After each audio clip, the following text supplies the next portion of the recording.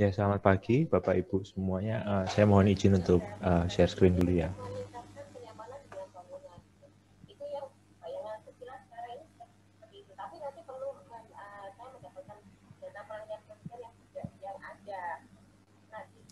Ya, baik Bapak Ibu, selamat pagi. Salam sejahtera buat uh, kita semua.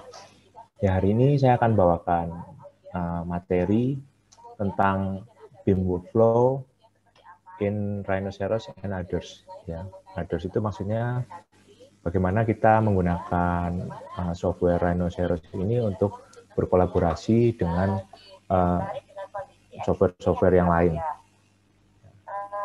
Jadi biasanya pada saat kita memulai sebuah ini ya kita memulai atau memutuskan menggunakan software untuk kebutuhan arsitektur, ya entah itu software yang berbasis CAD, entah itu software sifatnya untuk sketsa, 3D modeling, bahkan sampai uh, software yang berbasis BIM, biasanya uh, ada tiga permasalahan atau tiga latar belakang kenapa sih kita uh, memilih software tersebut. Ya, pertama, kalau kita bicara tema yang kekinian ya, temanya BIM, selalu pertanyaannya bisa nggak sih uh, software Rhinoceros itu membuat BIM modeling? Ya, kalau sudah bisa BIM modeling, biasanya bisa nggak untuk generate dari 3D modelnya atau dari 3D modelingnya jadi gambar-gambar kerja atau gambar-gambar dua dimensi. Ya, karena kita tahu pada saat kita membuat uh, modeling ya, modeling sebuah bangunan, permasalahannya adalah kalau kita pakai ya sebut saja misalnya uh, software SketchUp gitu ya. SketchUp uh, 3D modelnya udah bagus nih. Klien udah setuju. Uh, kemudian saatnya untuk di breakdown jadi gambar kerja. Ya mungkin kita akan menggunakan SketchUp kita coba slicing kita masukkan ke SketchUp layout ya. Atau misalnya sebaliknya kalau di AutoCAD kita bikin dua dimensinya dulu kemudian kita bikin tiga dimensinya ya kita sadar kalau proses itu terpisah-pisah ya. Uh, berbeda dengan uh, software BIM pada umumnya yang memang uh, sudah dibuat tiga dimensi dengan segenap informasi di dalamnya. Ya. Jadi masalahnya kenapa sih kita perlu gambar-gambar dua dimensi supaya kita bisa breakdown gambar ini untuk berkolaborasi dengan stakeholder di dalam proyek kita? Entah itu misalnya teknik sipil entah itu insinyur untuk MEP, ya atau itu untuk supplier material dan seterusnya. Nah, kemudian uh, kebutuhan yang ketiga itu apakah itu IFC ready? Ya, IFC itu maksudnya Industrial Foundation Classes. Ya, artinya file yang kita gunakan ini bisa nggak sih untuk uh, berkolaborasi atau dikirim ke software-software uh, arsitektur lainnya? Ya, misalnya kita bikin di Rhino terus tiba-tiba ada partner kita atau rekan kerja kita pakai BIM. Bisa nggak sih kalau dari Rhino kirim ke BIM atau sebaliknya? Ya, atau ke software-software lainnya. Ya, misalnya uh, SolidWorks atau Revit atau apa pun itu. Ya. Nah, jadi di sini saya coba uh, jelaskan bahwa Rhinoceros, ya Rhinoceros uh, yang biasanya didukung dengan plugin Visual Art ya, akan membuat 3D model uh, dengan dasar associative data. Ya, artinya associative data itu di dalamnya terdapat uh, informasi seperti layaknya BIM. Jadi kalau kita mau bikin uh, views atau tampilan beberapa gambar kerja, misalnya plan views, section views, dan seterusnya, itu akan lebih uh, lebih gampang kalau kita menggunakan visual art ini. Kemudian dalam visual art ini juga mungkin kita untuk membuat uh, schedule ya atau kita mau bikin uh, list material atau list BQ yang kita perlukan untuk merealisasikan proyek. Ya, jadi uh, sebetulnya visual art ini adalah sebuah plugins yang dirancang untuk uh, mendukung uh, software Rhinoceros. Ya. Sebetulnya kalau menurut saya ini adalah jawaban dari uh, permasalahan kita di baik itu di uh, ranahnya akademik maupun di ranahnya industri. Ya, artinya apa? Kalau kita lihat biasanya uh, persepsi ya, persepsi pada umumnya software Rhinoceros itu berbasis surface, artinya Rhinoceros akan uh, mendukung untuk objek-objek yang sifatnya kompleks. Misalnya kita mau bikin uh, bangunan yang mirip kayak bangunannya Zaha Hadid misalnya gitu. Ya kan kalau misalnya bangunannya seperti bangunan Zaha Hadid, kalau kita bikin di SketchUp, kita pakai mesh, uh, akibatnya gambar atau objek 3D-nya jadi hitam semua kalau di dalam uh, SketchUp. Nah, kemudian kalau kita masukkan ke dalam Revit, Revit memungkinkan untuk itu.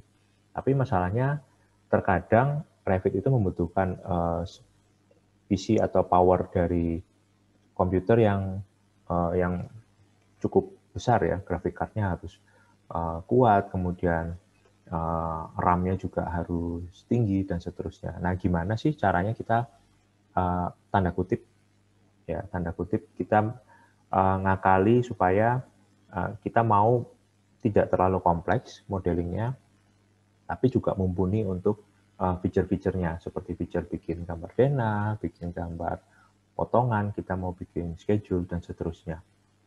Nah, uh, visual art uh, punya fitur seperti itu dan kalau kita mau uh, apa ya, kalau kita mau lebih advance lagi, misalnya oh di BIM bisa ini loh di uh, sebut saja ya misalnya software Revit atau Archicad bisa ini loh, di visual art nggak bisa.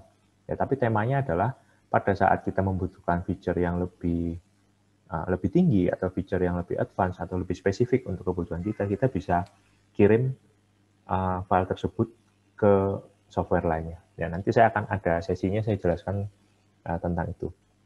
Yang pertama saya akan tunjukkan uh, ini sebuah video uh, Ya, dalam video ini kita bisa lihat bagaimana uh, objek tiga dimensi, ya, objek tiga dimensi di uh, dalam rhinoceros, ya. Kemudian propertiesnya juga sudah disusun. Kalau kita lihat di pojok kiri atas ada tulisannya ground floor, ya. Jadi ini adalah uh, Windows-nya khusus uh, memang dibuat sebagai uh, untuk menunjukkan denah dari bangunan ya kalau kita uh, lihat biasanya di sebelah kanan propertiesnya kita bisa lihat ada ketinggian uh, sectionnya berapa sih untuk membuat denah tersebut. Ya kemudian dari gambar ini kita juga bisa lihat bagaimana sebuah objek tiga dimensi itu dibuat gambar potongannya. Ya. Nah kalau kita lihat di sini uh, ada gambar potongan. Kalau selama ini gambar potongan itu bisa cuma lurus saja ya. Karena saya juga uh, berpraktek di interior dan juga ngajar di bidang interior kadang-kadang kita juga perlu uh, potongan yang bisa berbelok. Jadi potongannya nggak garis lurus saja tapi bisa dibelokkan. Nah di sini kita bisa lihat uh, bidang pemotongnya bisa berbelok ya. Artinya kalau berbelok ada ruangan yang nggak mau kita potong kita bisa hindari atau misalnya di bagian tersebut ada furniture jadi bisa kita hindari. Nah, kemudian uh, setelah kita bisa bikin potongan ya dalam gambar kerja ini, ya. Nah, ini juga potongannya juga bisa di custom ya. Uh, kalau kita lihat di sini. Nah, sejauh mana bidang yang mau kita potong, yang mau kita uh, tunjukkan. Oke, setelah ini eh, kita akan lihat kalau gambar ini sudah dipotong pada objek tiga dimensinya, berarti yang kita perlukan adalah gambar potongan dalam bentuk dua dimensi atau gambar eh, gambar kerjanya ya untuk kita kasih dimensi, kita kasih uh, keterangan di dalam gambar tersebut.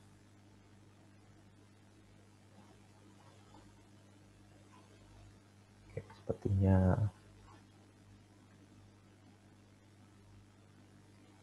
Saya coba majukan dulu.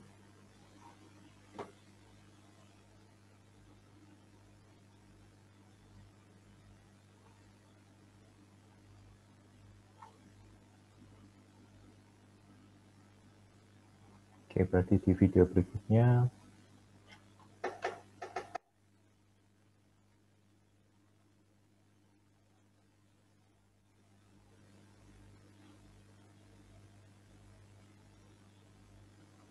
Oke, di sini kita lihat tadi pada bagian ini S1 kalau kita lihat section nomor satu ya itu bisa di generate langsung menjadi uh, gambar potongan. Ya, kemudian gambar ini sifatnya juga generatif. Artinya setiap kali kita menggeser bidang pemotongnya, bidang S1 itu, maka gambar yang ada juga otomatis berubah. Ya, jadi semua propertinya juga uh, ikut berubah. Ya, jadi menurut saya kalau kita masih di zamannya pakai AutoCAD, uh, pada saat kita harus melakukan koreksi di bagian potongan, ya misalnya potongannya potongan AA gitu ya, kemudian tiga dimensinya berubah, otomatis kita harus merubah uh, gambarnya. Atau misalnya kita dalam di BIM kita harus menambahkan atau merubah properties. Ya kalau uh, PC-nya kita nggak terlalu uh, mumpuni, maka kita perlu waktu lebih lama untuk uh, memproduksi gambar dua dimensinya atau gambar kerjanya. Ya, kemudian gambar ini juga kalau kita butuhkan untuk gambar-gambar, misalnya kita mau bikin uh, color plan atau kita mau bikin color section yang yang digunakan untuk uh, untuk kebutuhan presentasi, ya misalnya dikirim ke uh, Photoshop atau dikirim ke Corel Draw, ya kita bisa uh, explode, kemudian kita uh, buka kembali di uh, Photoshop atau di Corel Draw atau Uh, software-software uh, grafis lainnya. Ya. Nah, di sini kita juga bisa lihat uh, atributnya juga bisa diedit ya, atribut dari Visual Art ini. Ya, jadi sebetulnya fiturnya sudah uh, menurut saya, menurut uh, saya sebagai pengguna, ya fiturnya sudah cukup uh, menjawab dari uh, kebutuhan dari dalam berpraktek arsitektur. Ya, jadi dalam level industri, kita bisa lihat kalau kita mau kasih blocking warna hitam atau kita mau kasih blocking dengan hedge misalnya, ya kita bisa uh, siapkan pada saat kita membuat gambar atau objek tiga dimensinya. Nah, di sini kita bisa lihat uh, gambarnya juga terpotong dengan baik. Ya, kita mungkin biasanya kalau kita pakai ya software lain seperti SketchUp gitu ya suka ada uh, ada glitch atau ada ada garis-garis yang tidak terpotong dengan sempurna. Ya, kadang kita juga bingung yang uh, mungkin kita tanpa sengaja salah satu anggota tim kita import uh, modelnya dari filenya 3D Max ya atau filenya apa um, Archicad misalnya. Nah, kemudian uh, gambar gambar potongannya atau gambar denahnya tidak ter uh, tidak terproduksi uh, dengan dengan sempurna. Gambarnya pasti ada masih ada kesalahannya. Tapi di Rhinoceros uh, kita bisa dimungkinkan untuk membuat gambar-gambar dua dimensi atau gambar kerja ini yang lebih menurut saya lebih lebih mulus ya, lebih bersih sehingga uh, memudahkan kita untuk uh, melakukan editing di tahapan selanjutnya. Kalau kita mau kasih dimensi, kita mau kasih keterangan, dan seterusnya. Kemudian, hmm,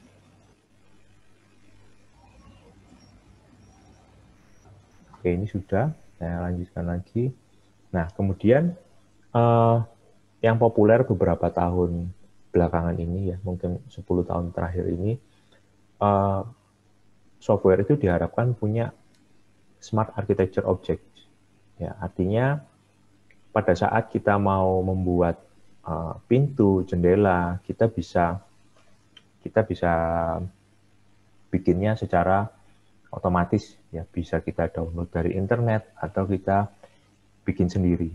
Ya, yang populer itu adalah uh, kita bikin dinding, kita bikin balok, kolom, pintu, jendela, tangga, railing, atap, dan seterusnya bahkan sampai yang yang paling sering digunakan kalau di level akademis biasanya mahasiswa uh, membutuhkan objek-objek seperti furniture gitu ya supaya mereka bisa presentasi dengan baik ke dosennya atau uh, atau teman-temannya misalnya seperti itu. Nah di dalam uh, pada saat kita menggunakan visual art, visual art juga ada feature seperti itu. Ya mungkin feature ini kalau kita kenal di SketchUp namanya components ya kalau di Revit uh, pakai family ya biasanya. Nah dalam uh, dalam software Rhinoceros dan Visual Art juga ada fitur-fitur seperti itu. Kalau kita lihat di sebelah kanan, ya kita bisa lihat kalau kita mau bikin curtain wall atau kita mau bikin cladding atau kita mau bikin apa ya namanya uh, mullion ya kalau kita mau bikin bangunan kalau tower gitu ya kalau kita mau bikin fasadnya bagaimana bidang pelapisnya nah kita bisa gunakan uh, feature-feature seperti ini ya kalau kita lihat di bagian tengah ini kita bisa bikin uh, dinding kaca dinding kacanya juga bisa kalau kita mau bikin melengkung ya karena basic softwarenya adalah Rhino ya bikin lengkung pasti akan hasilnya juga akan lebih sempurna. Di sini saya akan uh, tunjukkan uh, ini untuk membuat jendela ya opening jadi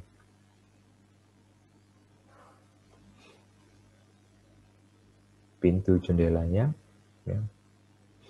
Jadi pintu jendelanya uh, menggunakan smart architecture object tadi. Ya. Nah kemudian yang menarik, ya, architecture objeknya atau objek-objek uh, bukaan pintu dan jendela itu juga bisa di-generate dua dimensi secara otomatis. Ya. Kita bisa lihat di sini. Nah, kita bisa lihat uh, otomatis gambar detail pintu dan jendelanya akan langsung dikumpulkan di satu rangkaian gambar.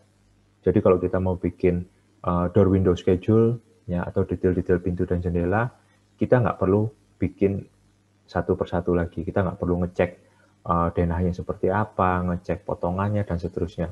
Ya, yang menarik juga uh, visual art ini langsung uh, membuat gambar-gambar detail ini lengkap dengan ukurannya. Ya, kalau kita lihat di sini sudah ada ukurannya. Ya, tinggal kita aja yang ngasih uh, kita ngasih kode dari door Windows-nya. Ya, saya rasa kalau ngasih kodenya kan nggak terlalu nggak terlalu uh, terlalu sulit ya. Jadi uh, door Windows ini bukan hanya untuk uh, door Windows yang sifatnya standar, yang kotak seperti itu. Kalau kita lihat di sini, ini bangunannya uh, Villa Savoy dari Le Corbusier kan ada dindingnya, uh, ada ada jendela yang bentuknya segitiga. Ya, itu juga di uh, di generate sebagai gambar dua dimensi di uh, di software ini.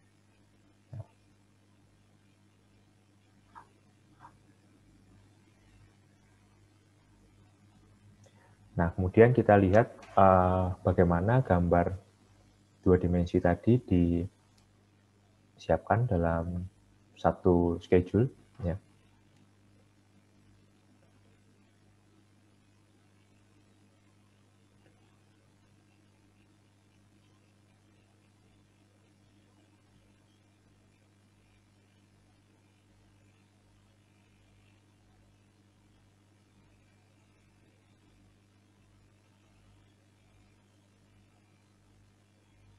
Nah, di sini otomatis uh, gambar yang tadi kita buat bisa dibuatkan uh, objek CSV-nya ya saya rasa ini bisa CSV, artinya CSV ini adalah list yang kita buat dalam gambar, dalam Rhino, itu bisa kita kirim ke software lain seperti Excel atau Google Docs gitu ya. Jadi uh, schedule-nya udah lengkap, kuantitinya berapa, ukurannya berapa, jumlahnya berapa. Ya, jadi ini tentu saja akan uh, mempermudah sekali atau mempercepat uh, proses ini ya, uh, proses drafting sama proses produksi uh, dokumen proyek.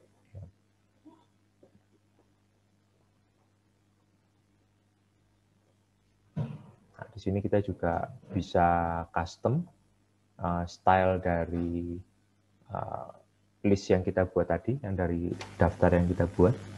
Ya, kita bisa taruh di situ. Misalnya kita mau uh, melampirkan luasannya gitu ya, luasannya dari bukaan. Ya, kita tinggal tulis saja areanya berapa, uh, kemudian mau nulis volume dan seterusnya. Ya, kalau mungkin ada catatan spesifik, kita juga bisa tambahkan uh, di dalam table fields ini atau dalam uh, dalam tabel yang kita buat. Ya.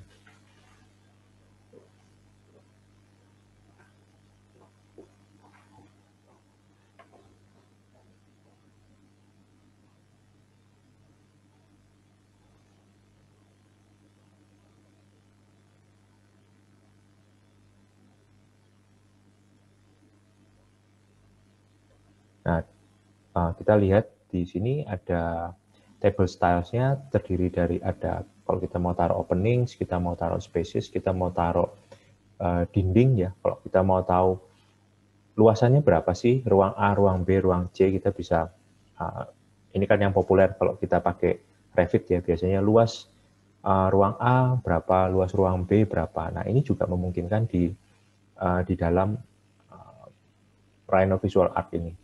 Ya, kita bisa lihat, oh ternyata quantity dari dindingnya sekian-sekian, kemudian stylenya, oh ini dinding tebal 20, ini dinding kaca, ini dinding tebal 100, ya, atau dinding partisi, dan seterusnya.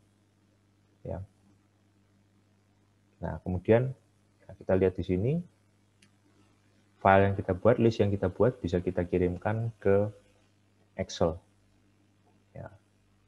Nah, jadi kita bisa uh, cepat sekali ya kita mau uh, mau bikin BQ-nya dari sini.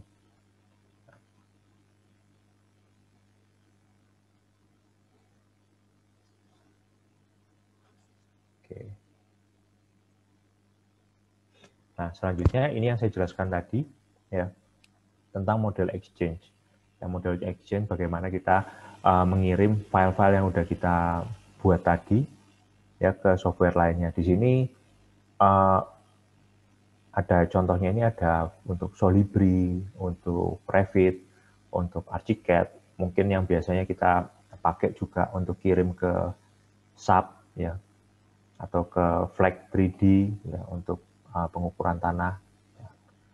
Jadi kita bisa uh, bisa kita simpulkan kalau software atau objek dengan berbasis Rhinoceros ini dia sangat IFC friendly ya atau industrial foundation classes-nya sudah sudah terjawab di sini ya.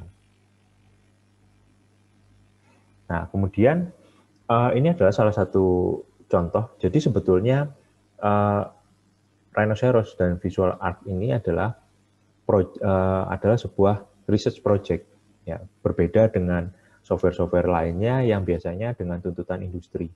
Ya, kali ini dengan tuntutan uh, proyek, artinya pada tahapan awal pembuatan visual art ini memang digunakan oleh seorang arsitek namanya Cloud9. Ya, Cloud9 ini uh, ingin mengembangkan software dia sendiri ya karena Cloud9 ini uh, dia juga seorang arsitek, dia juga seorang kontraktor ya. Jadi mereka, uh, mereka punya kebutuhan yang sangat spesifik dalam uh, dalam membuat sebuah ini ya malah menciptakan sebuah bangunan ya dari proses desain sampai proses realisasinya. Ya di sini uh, Cloud9 menggunakan konsep inflatable bubble buildings. Ya artinya uh, Cloud9 berusaha mengurangi elemen-elemen dinding ya dengan menggantikannya dengan inflatable uh, structure. Ya di sini pakai platnya di bolong-bolongin ya kemudian pakai uh, elemen seperti struktur tenda dan seterusnya. Ya, jadi otomatis uh, otomatis proses modelingnya juga sangat sangat kompleks dan spesifik ya kalau kita pakai uh, kalau kita cuma bertahan di satu software tertentu. Nah, di sini kita uh, bisa lihat ini adalah contoh yang sudah saya coba ya. Jadi kalau objeknya kita buat ya surface ya, entah kita mau bikin surface-nya sebagai kontur atau surface-nya sebagai plat lantai ya. Kalau kita kirim ke Revit ya dia terbaca sebagai surface atau sebagai slab ya di sini ya. Nah, kemudian kalau dikirim ke Archicad juga tetap sama, ya propertiesnya sama, layernya nggak berubah sama sekali. Ya, jadi nggak ada uh, nggak ada garis-garis yang nggak terbaca atau tiba-tiba modelnya jadi atau 3D objeknya jadi hitam. Ya. Nah, kemudian kita juga bisa atur propertiesnya, jadi nggak nggak bertahan. Misalnya kita bikin slab gitu ya, slab tebalnya cuma uh, tebalnya cuma 200 mili gitu kalau bawaan yang visual art. Ini tetap bisa juga di uh, di custom ya. Gunanya apa sih di custom? Supaya kita bisa membangun parameter, kita bisa membangun uh, kebutuhan spesifik untuk manufacture, untuk pembiayaan, untuk jenis material yang akan kita aplikasikan ya ke dalam satu uh, properties ini ya. Dalam satu uh, kalau kita klik kanan biasanya ada propertiesnya. Ya, jadi propertiesnya lebih menurut saya lebih friendly, bukan informasi mengenai 3D objeknya, tapi uh, informasi tentang tentang elemen bangunan itu sendiri. Ya, jadi sudah uh, mirip sekali dengan eh, software-software uh, BIM pada umumnya. Ya. Kemudian yang menarik ya tentu saja kalau kita bicara rhinoceros kita nggak bisa luput dengan diskusi uh, parametric design ya atau kita kenal biasanya dengan nama grasshopper yang nanti akan dijelaskan oleh uh, Pak Dani mengenai grasshopper ini. Ya, jadi uh, visual art nggak cuma sebagai uh, plugins pada umumnya, ya kalau kita beli, uh, pakai software A, beli plugins B, dia akan bergerak ya berdasarkan standarnya itu seperti apa. Tapi kita bisa juga uh, tanda kutip kita coding atau kita lakukan visual scripting di sini. Ya, jadi kalau kita mau ke, punya kebutuhan spesifik ya seperti uh, di Grasshopper ya, misalnya kita mau bikin uh, sebuah tower yang dipelintir gitu.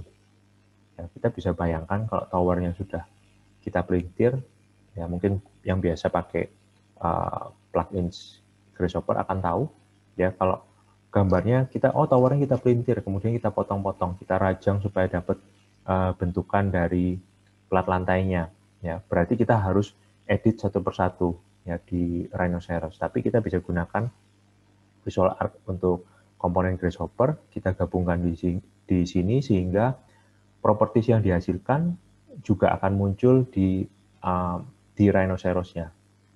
Ya jadi semua uh, semua sinkron. Bukan cuma oh ini definition untuk grasshopper akan terbaca di grasshopper aja, tapi ini uh, sifatnya simultan satu dengan yang lainnya. Ya.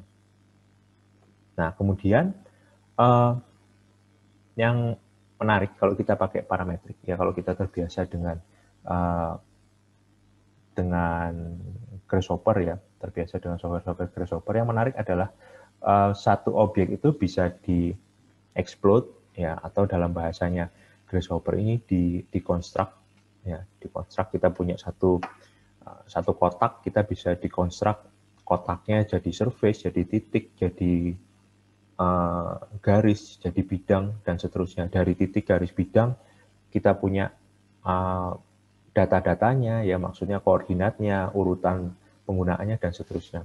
Ya itu untuk kebutuhan yang lebih kompleks. Ternyata uh, dalam visual art karena bisa terhubung dengan parametrik kita juga akan mudah melakukan proses konstruk di konstruk tersebut. Ya, ini uh, apa agak gigi ya penjelasannya, tapi buat Nah, teman-teman yang terbiasa dengan uh, parametric software akan akan sangat diuntungkan dengan dengan fitur ini. Ya, kemudian aplikasinya seperti apa? Ya, aplikasi yang pertama saya jelaskan tadi, uh, yang paling umum adalah buat documentation drawing atau membuat proses membuat gambar kerja, gambar kerjanya bisa lebih lebih stabil ya. Kemudian karena di apa? Karena di dalam Rhino ini sekarang kita bisa ada view-nya dari model tersebut atau bagaimana kita merepresentasikan model tersebut sebagai rendering, sebagai gambar kerja atau shaded view dan seterusnya. Nah, akibatnya kita bisa membuat gambar kerja yang ada efek renderingnya. Ya, jadi kelihatan uh, kedalaman dari denah atau potongan yang kita buat. Ya, jadi seakan-akan ada ada bayangannya gitu ya. Jadi kita nggak perlu bikin bayangan secara manual atau nggak perlu lagi kita kirim ke Photoshop ya. Nah, kemudian juga eh, prinsip-prinsip uh, yang dijelaskan tadi uh, nggak harus untuk bangunan juga, nggak spesifik untuk bangunan. Tapi kalau misalnya kita gunakan untuk uh, produk desain ya atau misalnya detail-detail arsitektur ya seperti di sini saya tunjukin uh, kotak pos gitu ya. Nah, itu akan akan memungkinkan juga. Ya, kalau kita lihat di bahkan kalau kita Oke, sorry ini terputus. Saya coba share kembali.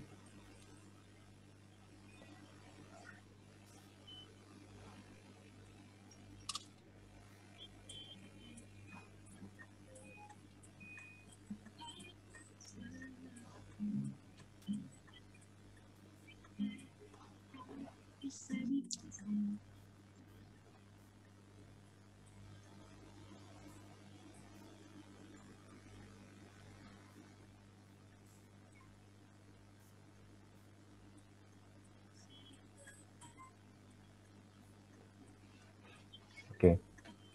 Ya, sekarang uh, saya coba tunjukkan bagaimana yang saya jelaskan tadi AFC uh, eh, untuk rhinoceros dikombinasikan dengan Revit.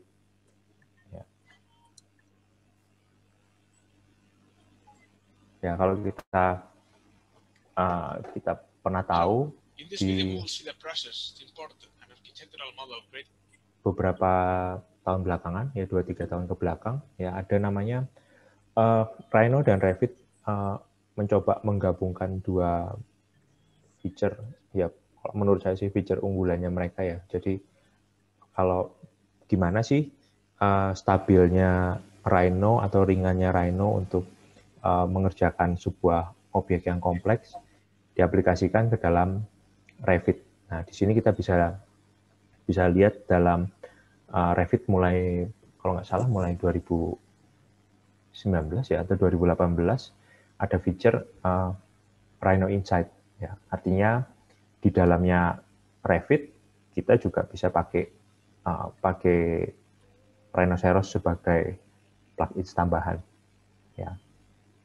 Nah ini saya agak agak cepetin ya. Nah Nah, di sini uh, tadi kita lihat kita import uh, IFC file.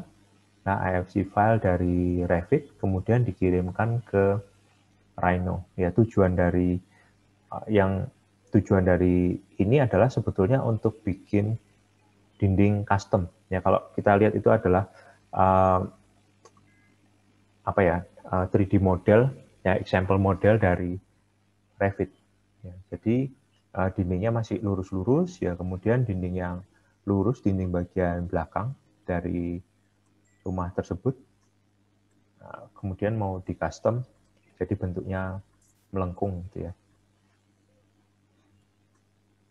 Nah, kemudian kita lihat di sini semua properties dari Revit ya terbaca dengan properties yang sama di dalam Rhinoceros. Ya jadi kalau kita bikin di Revit, oh ya kita mau bikin dinding ketebalan 20 cm misalnya, itu juga di sini propertinya juga tidak berubah. Ya.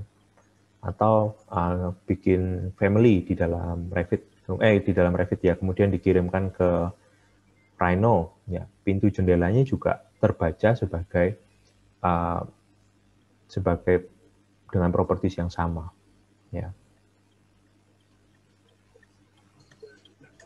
Nah, di sini kita bisa lihat kalau tangga misalnya tangganya pun terbaca kalau tangga itu dibuat precast ya di situ tulisannya juga sebagai precast stair ya. Nah, kemudian juga uh, layer visualisasinya ya kalau di Revit biasanya lantai satu, lantai dua di sini juga terbaca sebagai uh, lantai satu, lantai dua. Ya, kemudian ini uh, sedikit demo ya kalau objeknya di edit Ya, objek dari Revit itu diedit di dalam Rhino, kemudian dikembalikan lagi ke Revit. Apakah tetap uh, terbaca kembali sebagai sebagai objek Revit gitu? Apakah informasinya berubah? Ya, atau ternyata objeknya harus diedit kembali di di dalam Revit. Ya. Ini saya agak uh, cepetin sedikit.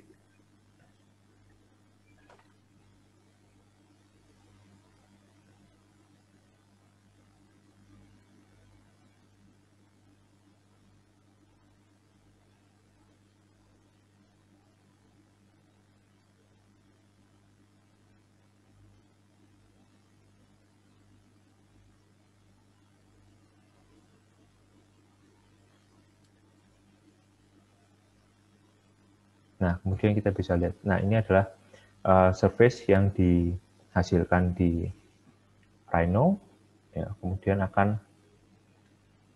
dikirim kembali ke Revit. Oh, sorry, screen share-nya terputus lagi.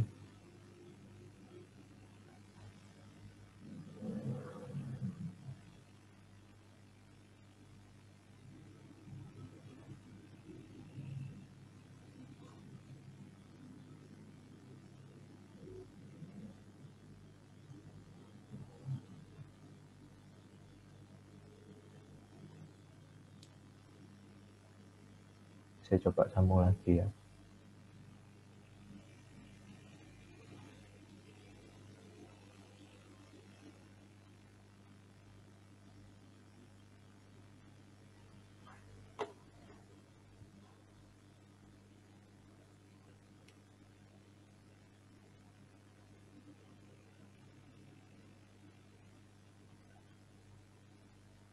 Oke, ya sampai sini tadi uh, dindingnya sudah dibuat di dalam Rhino, kemudian filenya diekspor, filenya akan dikirimkan kembali ke Revit, ya, kemudian dibuka di Revit sebagai AFC Objects,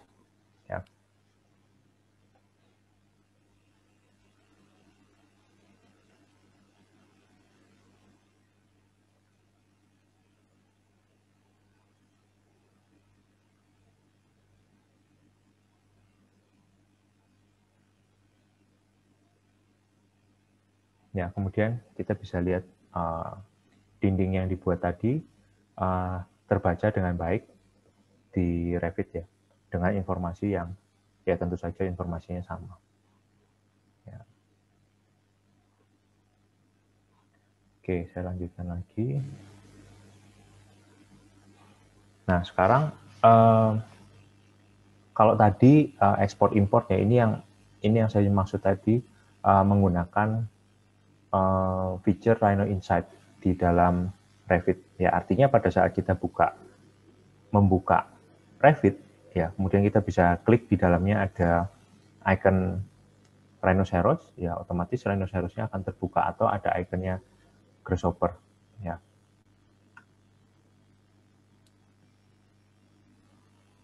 Jadi artinya apa? Artinya kalau pada saat kita bikin uh, desain, Ya, kalau selama ini kan kita kenal mungkin di Revit ada feature Dynamo. Ya, Dynamo buat yang familiar dengan uh, dengan Grasshopper. Ya, kalau menurut saya uh, Dynamo kadang-kadang masih masih ada punya feature yang agak berbeda dengan uh, dengan Grasshopper. Jadi buat Grasshopper user biasanya agak kesulitan untuk beradaptasi dengan uh, Dynamo.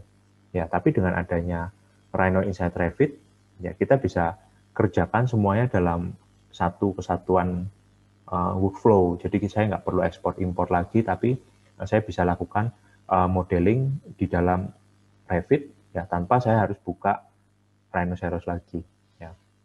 Ini saya tunjukkan di sini ada uh, menggunakan apa kita bikin water cube ya, water cube. Nah, jadi dari water cube, uh, water cube ini adalah sebuah bangunan dengan sistem struktur uh, Voronoi. Ya, Voronoi ini feature yang paling paling umum di uh, di Grasshopper ya. Yang dimaksud Voronoi ini adalah seperti uh, seperti gelembung-gelembung, seperti kristal gitu, struktur seperti kristal. Yang biasanya uh, sifatnya random sekali, kalau dibikin satu persatu juga akan uh, merepotkan atau uh, memakan waktu yang lama ya. Nah, jadi uh, struktur Vorono ini coba dibuat kalau kita bikin di Revit komputernya berat, kalau kita bikin di Rhino terpisah akan butuh waktu untuk mengirimkannya kembali ke Revit. Ya, jadi di sini uh, saya tunjukkan uh, di sini kita menggunakan prinsip ya prinsipnya bikin uh, bikin Voronoi di Grasshopper ya seperti ini ya dengan parametric definition kemudian kita bisa lihat di sebelah kiri atas ya sebelah kiri atas ada ada apa ada satu tabel yang menunjukkan ini ada ada lambang jangkriknya ya ada Grasshopper, kemudian di Grasshopper kita bisa lakukan coding dengan uh, Python scripting ya. Ternyata Pythonnya pun juga ada di dalam Revit. Jadi semua yang dibutuhkan uh, pada saat kita proses modeling, melakukan parametric modeling di dalam uh, Grasshopper juga bisa langsung berhubungan dengan Revit. Ya. Nah, di sini kita bisa lihat uh, layak apa definisinya di Grasshopper tapi muncul objeknya di uh, di Revit ya. Bisa lihat uh, ini hasil strukturnya, berhitung setelah strukturnya dihitung ya kemudian bisa muncul rangka-rangka yang seperti ini ya. Sebagai rangka struktur. Kemudian rangka strukturnya ya tentu saja diolah di ini ya di dalam Grasshopper ya kemudian setiap garisnya itu bisa didefinisikan atau diberikan informasi uh, sebagai BIM atau sebagai balok ya tujuannya apa dikasih informasi sebagai balok supaya dibaca di dalam Revit dengan informasi juga sebagai balok kalau dia sudah memperoleh informasi sebagai balok maka akan memudahkan kalau kita mau melakukan uh, proses analisa struktur ya dengan uh, teman-teman uh, teknik sipil ya. Oke, ini uh, secara skematik uh, gambarnya, tapi skematik ini sudah menjelaskan kebutuhan dari uh, sistem strukturnya. Jadi kita sudah punya balok, kita sudah punya bidang atau service-nya. Ya, kira-kira uh, demikian presentasi dari saya. Semoga bisa bermanfaat buat Bapak Ibu semua. Ya, terima kasih.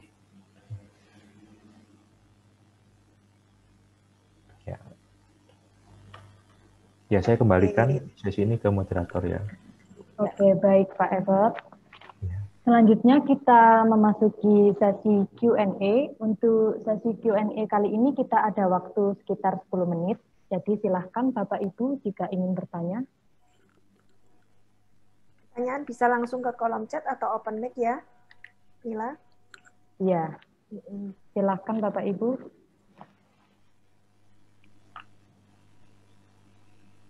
Wah, sudah pada ngerti semua ini Pak Evert. Atau pada ngantuk ya. Oke, saya coba ini. Oh saya ini coba Pak, jawab. ada, ada Pak satu. di kolom chat Pak. Sini. Ya, saya jawab langsung ya Bu ya. Silakan. Iya, silakan. Apakah ada keunggulan jika menggunakan Rhino Visual Art daripada Archicad Rhino Archicad Grasshopper Live Connection secara basis BIM-nya, regenerate gambar kerja, perhitungan volume dan seterusnya. Ya, Uh, Archicad betul Archicad uh, Archicad Rhinoceros itu punya satu feature plugin juga uh, parametric feature namanya Grasshopper uh, Live ya. ya. Jadi prinsipnya sebetulnya sama ya, prinsipnya sama. Cuma yang me, uh, menurut saya ya praktek yang biasa saya yang saya alami ya Grasshopper Live itu terkadang untuk objek yang sangat kompleks ya seperti yang saya tunjukkan tadi Voronoi gitu ya. Voronoi-nya kalau sudah uh, feature-nya sudah banyak kita kasih ball join, ball join-nya space frame, uh, kemudian kita masukkan ulir, kita masukkan titik uh, titik baut, sekrup dan seterusnya. Uh, Grasshopper Live biasanya agak sedikit bagi ya jadi suka tiba-tiba hilang gitu ya tiba-tiba nutup sendiri Nah, kalau visual arc, kelebihannya visual arc dan kelebihannya visual arc, Rhino dan Rhino Insight, mereka terbaca ter, terpotong-potong. Ya, kalau terpotong-potong artinya uh, di titik uh, di titik atau di langkah tertentu, misalnya terputus, kita masih bisa nyambung pada saat kita buka lagi, tapi nyambungnya nggak terlalu jauh, nggak di langkah yang pada saat langkah hilang. Misalnya ya kita punya 10 langkah, ya kalau saya asumsikan uh, Bapak ini pakai Grasshopper Live ya. Kalau pakai Grasshopper Live misalnya di parametric design ada 10 langkah uh, untuk menyusun definitionnya. Nah, kalau di salah satu hilang di dengan menggunakan Visual Arc biasanya akan akan memudahkan untuk lompat ke langkah selanjutnya. Ya, jadi dia nggak uh, filenya nggak langsung tertutup seperti itu. Dan biasanya karena sudah difungsikan dengan Rhino Insight ya atau Rhino Insight Revit uh, cenderung lebih stabil. Ya, sepengalaman saya seperti itu, Pak. Ada pertanyaan lagi mungkin dari Pak Zulkifil? Ya, mungkin yang menjadi catatan sebetulnya ini. Jadi kalau zaman kalau zaman dulu kita punya kecenderungan untuk menggunakan software dengan membandingkan keunggulannya. Ya, plus minusnya seperti apa.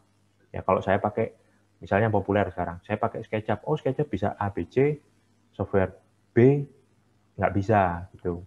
Nah uh, menurut saya uh, era sekarang itu adalah era penggunaan software yang elaboratif. Jadi kita nggak nggak perlu terpaku di satu software, tapi yang penting kita tahu uh, bagaimana menyusun workflow-nya pada saat oh ya pada saat kami atau saya terkendala dengan uh, Revit gimana sih cara menyelesaikan kesulitan ini dengan memanfaatkan software lainnya, misalnya Rhinoceros. Kalau di Rhinoceros kesulitan, uh, misalnya kalau di Rhino, uh, Rhinoceros gitu, bisa menghitung uh, building performance, ya lebih cepat mana? Kita ngitungnya di di Grasshopper Ladybug atau kita ngitung dengan menggunakan Ecotech ya kadang-kadang ada beberapa langkah yang lebih lebih cepat dilakukan dengan software yang lebih konvensional.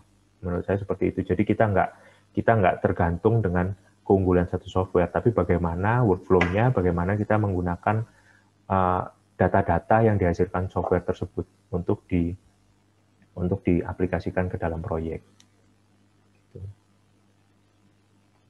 Oke, okay, thank you. Benar itu, jadi pakai workflow ya. Ada yang mau ya. ditambahkan mungkin? Oke, Mila. Oke, baik. Uh, kalau gitu kita lanjut ke sesi berikutnya ya. Boleh. Oke. Baik, uh, terima kasih sekali lagi kepada Pak Evert untuk webinarnya. Semoga informasi yang disampaikan bisa bermanfaat bagi kita semua. Baik, oke. Okay. Selanjutnya ada workshop dengan topik Subkey Modeling with Rhino and Grasshopper yang akan dibawakan oleh Bapak Dani Hermawan. Beliau adalah trainer Rhinoceros dan Grasshopper di PT Kira Sistem Indonesia. Beliau merupakan dosen arsitektur di Universitas Pelita Harapan. Beliau juga adalah pendiri Formologic dan merupakan anggota aktif IAI. Baik, kita mulai saja workshopnya kepada Pak Dani, kami persilahkan. Uh, Oke, okay. selamat pagi semua. Pagi untuk Bu Susan, dan rekan-rekan Pak Andre, Pak Evert. Uh, tidak lupa pada terima kasih kepada IAI Sulsel ya atas kesempatannya. uh, saat ini saya akan membawakan uh, sebuah workshop singkat, sebetulnya lebih ke arah pengenalan dasar dan uh, mencoba membawa teman-teman semua juga untuk bisa uh, apa namanya men, mengendalikan ya si si tooling ini Rhino beserta si uh, Grasshopper. Um, ada satu file yang teman-teman silahkan untuk download. Saya sudah taruh di uh, kolom di, di chat box ya. ya. Jadi itu adalah material uh, workshop pada hari ini silahkan untuk di-download dan uh, kita akan berbasiskan file tersebut. Tentu saja file-file ini hanya bisa dibuka dengan uh, Rhino yang uh, versi 7 yang sudah terinstall di uh, laptop rekan-rekan semua yang ikut workshop ya pada hari ini. Bentar, saya coba share screen.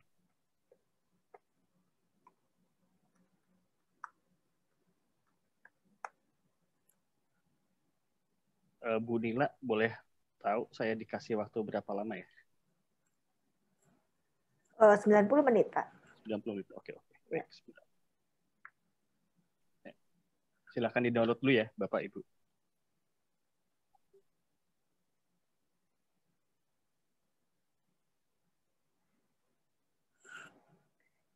Bagi yang mau lihat di kolom chat itu dari Nila ada pembagian uh, bukan pembagian sorry bagi dibagikan linknya Rhinoceros bagi yang belum download.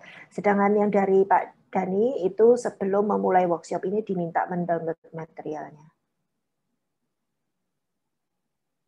Oke, uh, semoga sudah bisa dilihat screen ya. Bisa Pak. Oke.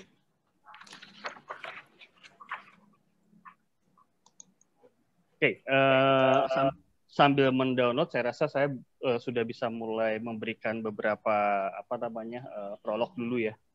Jadi uh, untuk workshop ini kita akan berjalan selama 90 menit. Teman-teman uh, semua nanti akan kita bagi dua ke dalam dua sesi ya. Jadi ada workshop yang pertama kali yang akan saya bahas tentang uh, mempergunakan si tooling uh, rhinocerosnya itu sendiri ya untuk kebutuhan uh, mempelajari tentang satu fitur baru namanya SAPD Lalu dari situ kita akan uh, masuk ke uh, sesi mempergunakan uh, Grasshopper dan Grasshopper pun juga sama akan mem akan membahas tentang penggunaan uh, fitur Sabdi. Namun demikian tentunya um, beberapa hal yang akan dibawakan pada hari ini ya akan kita coba relasikan antara apa antara komen-komen yang ada di apa namanya di di tooling rhinocerosnya lalu apa yang bisa terjadi di si grasshoppernya lalu kita kita nanti bisa diskusi juga di akhir mengenai uh, apa si uh, uh, penggunaan tool dua dua dua moda tersebut gitu ya dalam kebutuhan uh, mendesain arsitektural. Nah um, untuk saat ini sambil jalan um, saya akan coba jelaskan.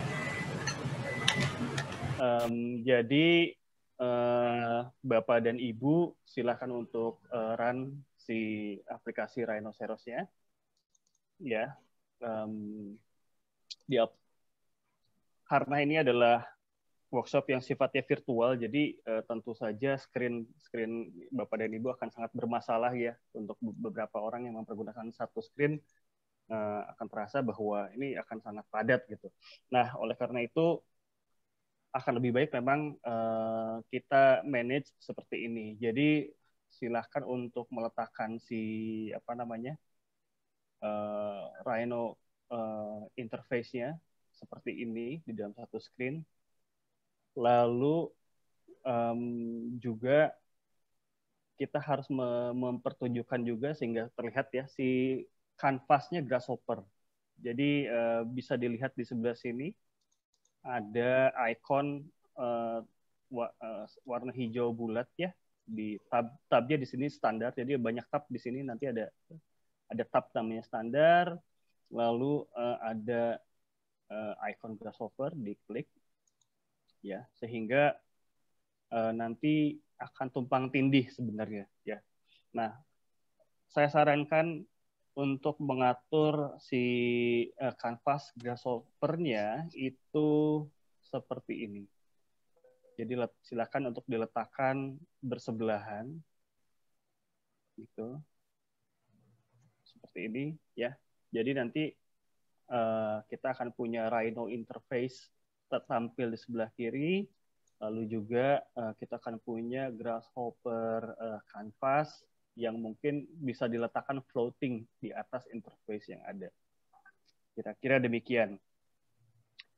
Oke, okay, saya harap Bapak dan Ibu sudah bisa membuka file yang sudah saya share. Ya, coba kita lihat. Bentar. Di file tersebut nanti terdapat um,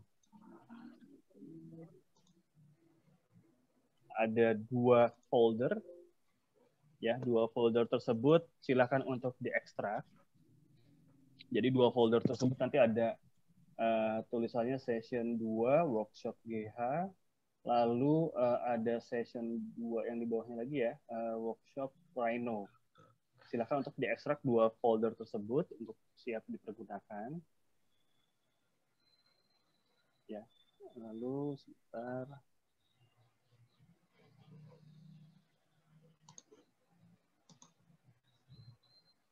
Lalu uh, yang akan menjadi materi untuk latihan kita hari ini adalah objek ini. Uh, um, ini adalah sebuah objek namanya objek konseptual namanya Leonardo Cube dibuat oleh 3D Deluxe ya di di di, di Itali. Um, nanti ini yang akan kita latih, kita buat seperti dilihat di sini bahwa uh, bentuknya relatif organik. Jadi kalau dengan teknik active modeling yang biasa, kemungkinan besar uh, kayaknya uh, apa namanya relatif lebih sulit gitu ya. Jadi kita mempergunakan si Rhino ini dengan harapan mungkin workflow-nya akan lebih lebih ringkas untuk kita. Oke, okay. demikian. Jadi silakan untuk pertanyaannya. Jadi kita sekarang buka file uh, folder yang berjudul uh, session 02 workshop Rhino 7. Dan di sini ada file namanya Leonardo Glass Cube ya. Silakan untuk di drag ke canvas eh sorry ke interface-nya Rhinoceros sehingga nanti muncul pertanyaan atau dialog box apakah filenya akan dibuka atau tidak gitu ya. Nah, kita pilih yang open file. Oke. Okay.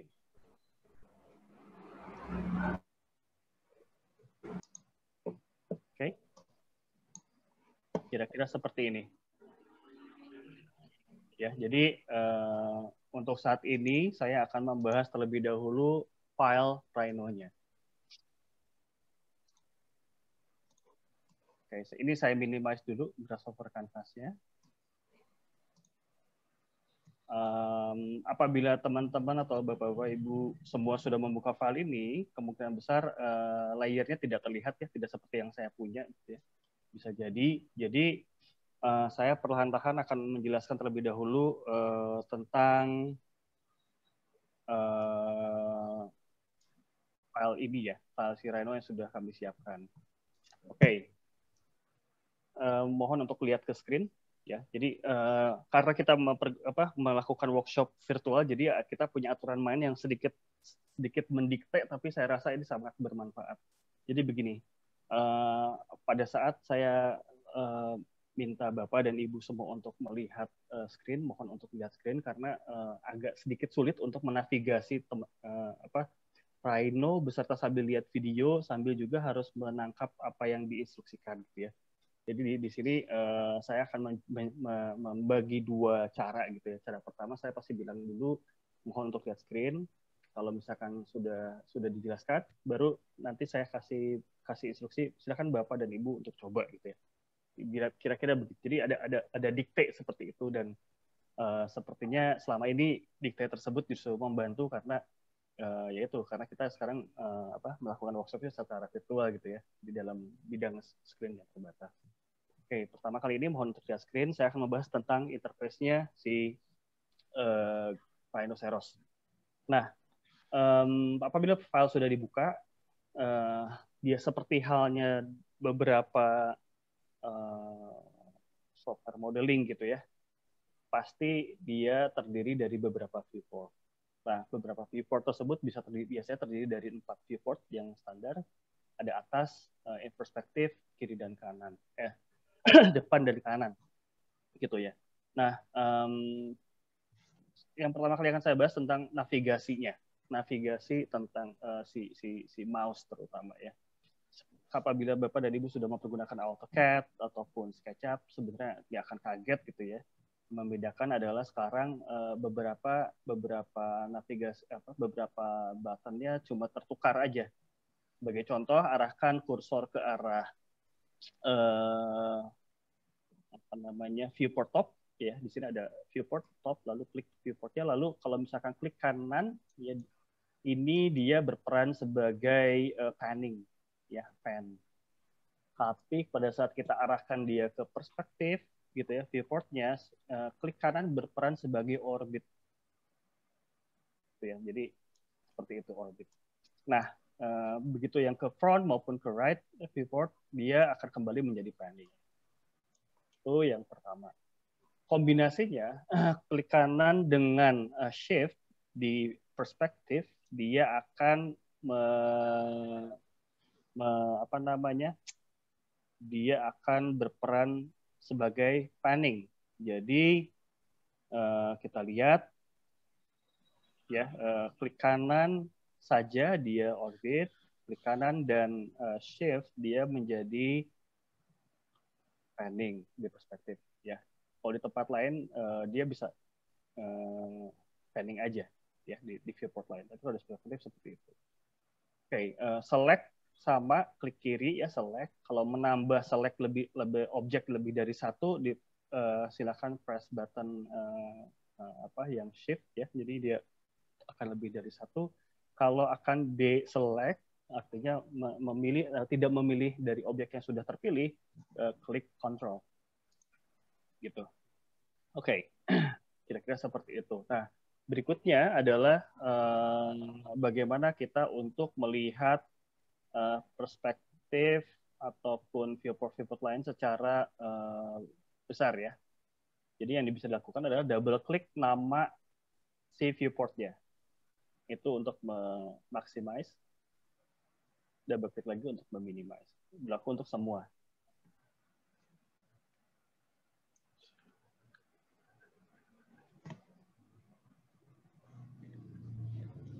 Oke, okay. lalu um, kita bisa sekarang uh, melihat uh, apa namanya uh, mode dari view, viewing mode-nya dengan cara klik rollout yang ada di sebelah kiri sini, lalu nanti kita bisa lihat ya mute apa uh, mode-nya mau apa mau, mau shaded, rendered, toasted dan seterusnya. Oke, okay, um, saya kasih waktu satu menit untuk mencoba. Silahkan Bapak Ibu. Ya. Jadi uh, klik kanan, klik kiri, orbit dan sebagainya gitu ya. Tadi lalu double klik si report ini dia akan berperan seperti apa. Satu menit silahkan.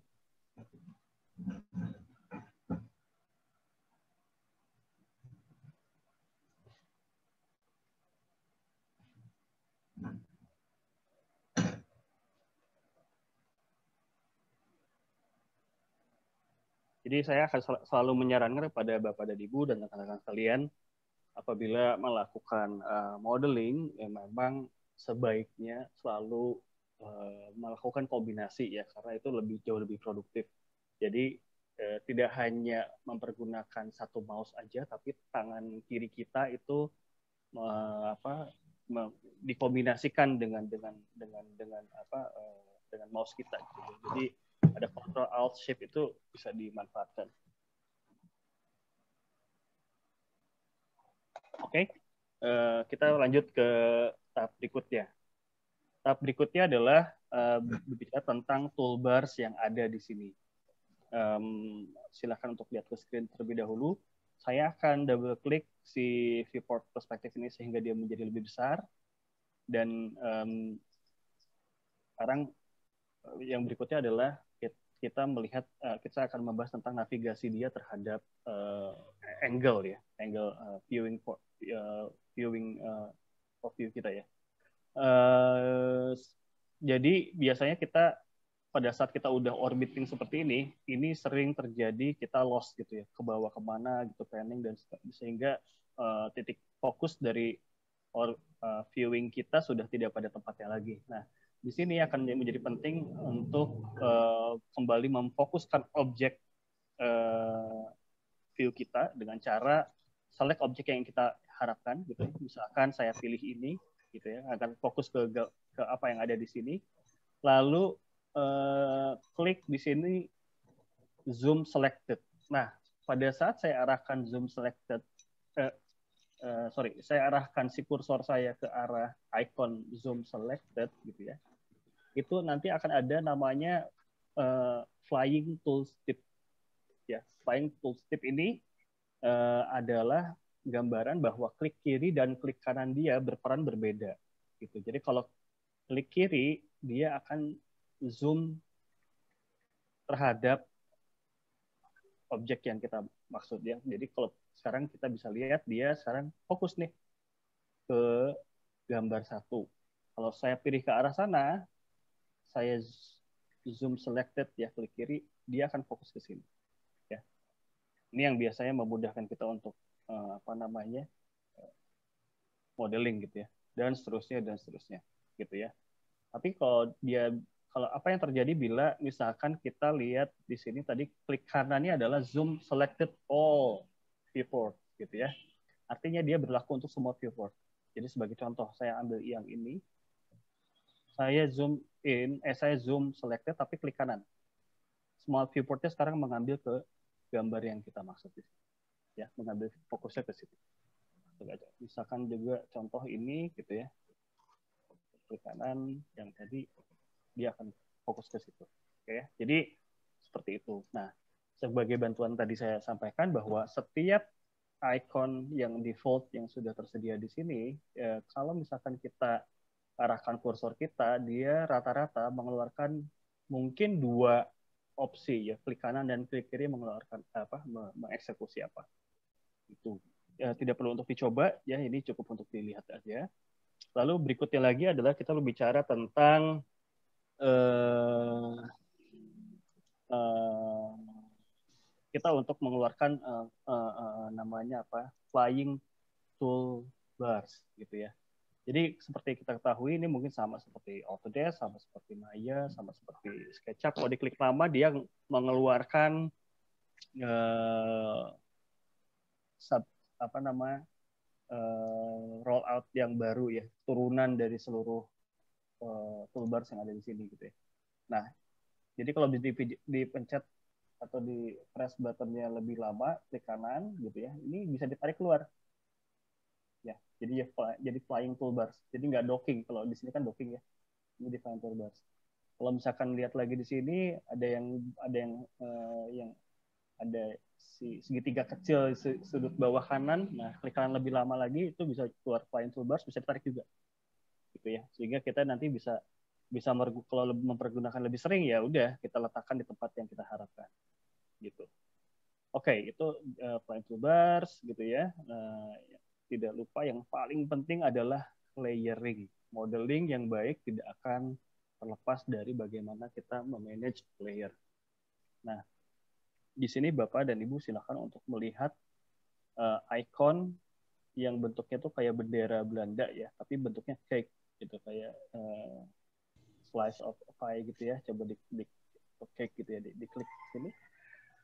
Nah, nanti kita keluar nih uh, si layernya bisa diletakkan di sebelah kiri ya kalau misalkan sekarang kita gambarnya kadang di kiri kadang di kanan ya udah dia dia bebas diletakkan di mana saja tapi kalau misalkan dia terbiasa diletakkan di sebelah kanan fix ya tinggal diarahkan ke sisi sebelah kanan nanti dia ada ada gambar warna biru muda menunjukkan bahwa dia siap di docking Jadi dia akan nempel di situ. Ini tergantung sama preference saja. Ya, uh, lebih lebih senang ke mana. Oke. Okay. Uh, apa yang sudah ditampilkan di sini adalah uh, objek semua objek dengan layer yang sudah kami manage seperti ini, gitu ya. Jadi bapak dan ibu um, bisa dilihat ya uh, ini nantinya akan membantu kita. Ini sama sih seperti yang lain ya. Uh, ini akan membantu kita untuk membuat si modeling jauh lebih rapi.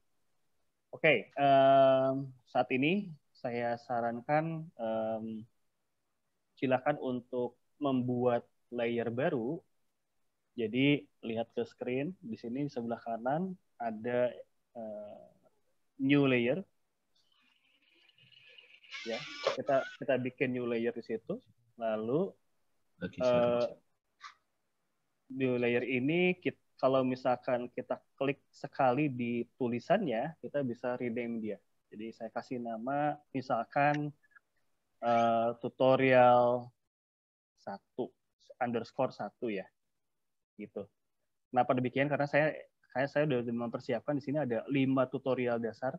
Satu dua tiga empat lima gitu ya. Kita bagi per nama tutorialnya saja gitu ya tutorial satu. Terus kalau misalkan oh ini saya saya nggak nyaman nih letaknya kok di, berada di sebelah sini ya udah kita move move dia ke atas ke daerah ya. Bisa taruh di bawah juga boleh atau dia taruh di atas. Oke move up.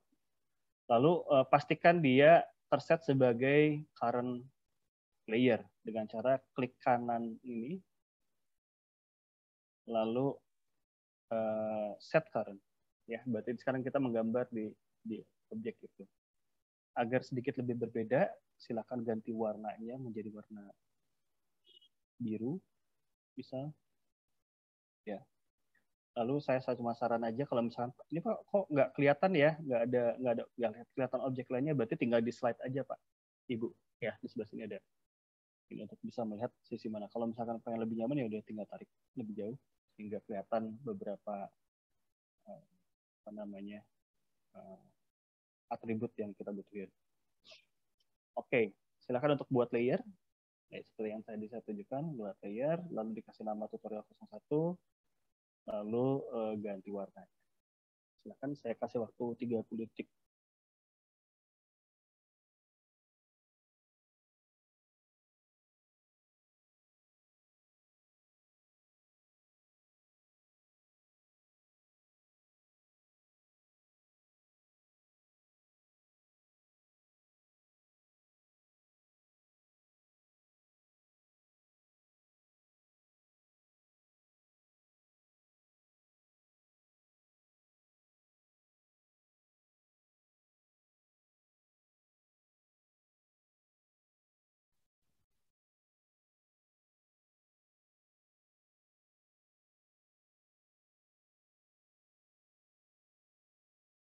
okay.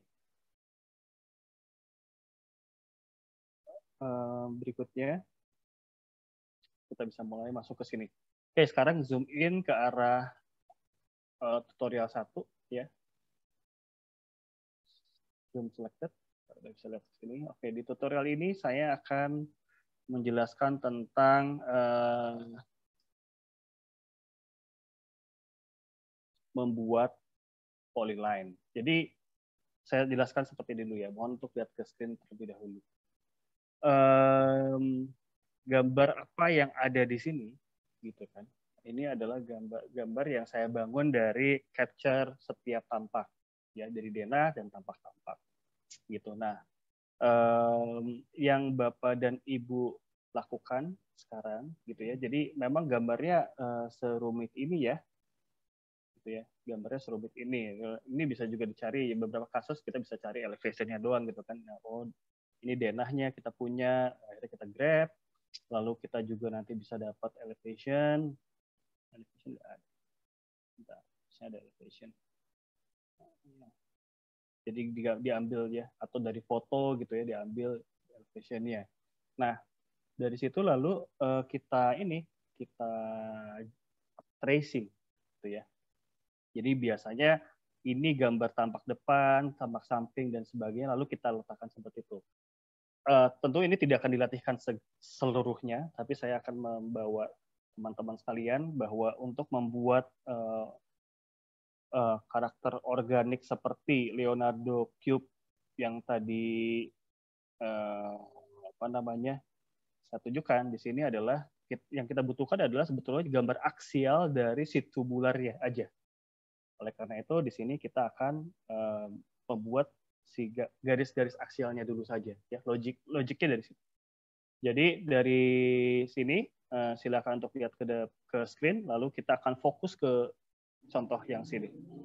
Jadi uh, bapak dan ibu silakan untuk melihat apa yang harus kita buat ya.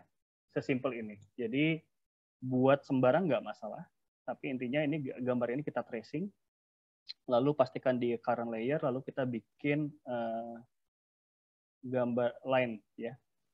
Pastikan dia seperti yang saya tunjukkan seperti ini. Uh, ambil kira-kira gitu ya. Kalau misalkan ortonya mengganggu, ortonya dimatikan, lalu pastikan uh, project projected ya di sebelah sini kiri ya drawing edge-nya. Lalu kita mulai membuat. Nah, seperti halnya dengan software aplikasi modeling lain ya atau pemodel lain kita membutuhkan bantuan dari drawing edge tool which is itu adalah end near point ya kalau di ini perpendicular dan sebagainya. Yang perlu kita pasang sebenarnya cukup dengan near-nya nyala ya yang near ini. Lalu poinnya dinyalakan end dinyalakan intersection perpendicular mungkin perpendicular tidak perlu dulu gitu ya. Nanti kita butuhkannya. Lalu yang lainnya projected gitu. Ya lalu kita bikin. Kenapa dibikin? Jadi kalau misalkan near dia kena ke, ke kena ke apa namanya uh, ke kurva atau ke garis dia akan uh, snapping ke garisnya gitu. Kalau dia ketemu dengan sudut ya atau dengan ujung dari garis dia akan lakukan seperti itu Oke, terus kita bikin yang selanjutnya ya. Jadi yang yang kita bikin axial drawingnya itu ya warna uh, yang warna hitam. Jadi kira-kira begitu. Oke, taruh situ gitu kan. Ini juga sama. Situ. Lalu situ kelihatan kalau nggak kelihatan taruh lebih bawah nggak apa-apa. Ya ini pastikan perpendicular dinyalakan kalau gitu ya biar dia snapping. Ini juga sama. Oke lalu seperti halnya dengan AutoCAD gitu ya kalau misalkan sekarang oh ini gambar garisnya tidak ketemu ya udah kita bisa pakai perintah namanya extend ketik extend. Jadi di sini ada command prompt di atas kiri extend, diketik extend. Ya extend banyak. Jadi pada saat mengetik sesuatu, ntar dia akan keluar uh, rekomendasi seluruh uh, komen yang mirip atau punya awalan yang sama. Jadi kita pilih cuma extend aja. Dia pasti nanya ya. Jadi ini sangat penting untuk Rhino, untuk Revit ataupun untuk AutoCAD gitu. Biasanya comment from menanyakan urutan-urutan selanjutnya gitu kan. Dia nanya boundary-nya yang mana? Oh, boundary-nya yang ini. Jadi yang di extend yang mana? Yang ini.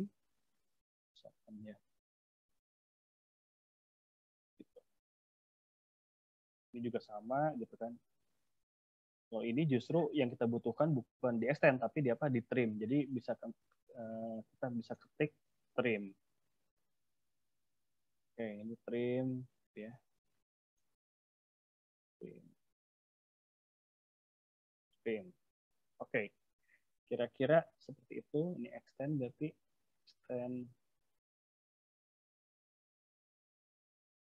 Oke, silakan untuk dicoba Bapak Ibu. Saya kasih waktu satu menit ya.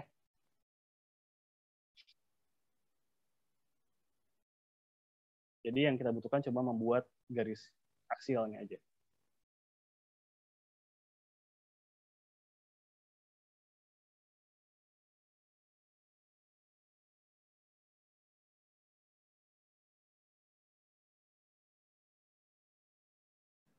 Kalau ada yang tanya, boleh langsung kolom chat ya, atau open mic.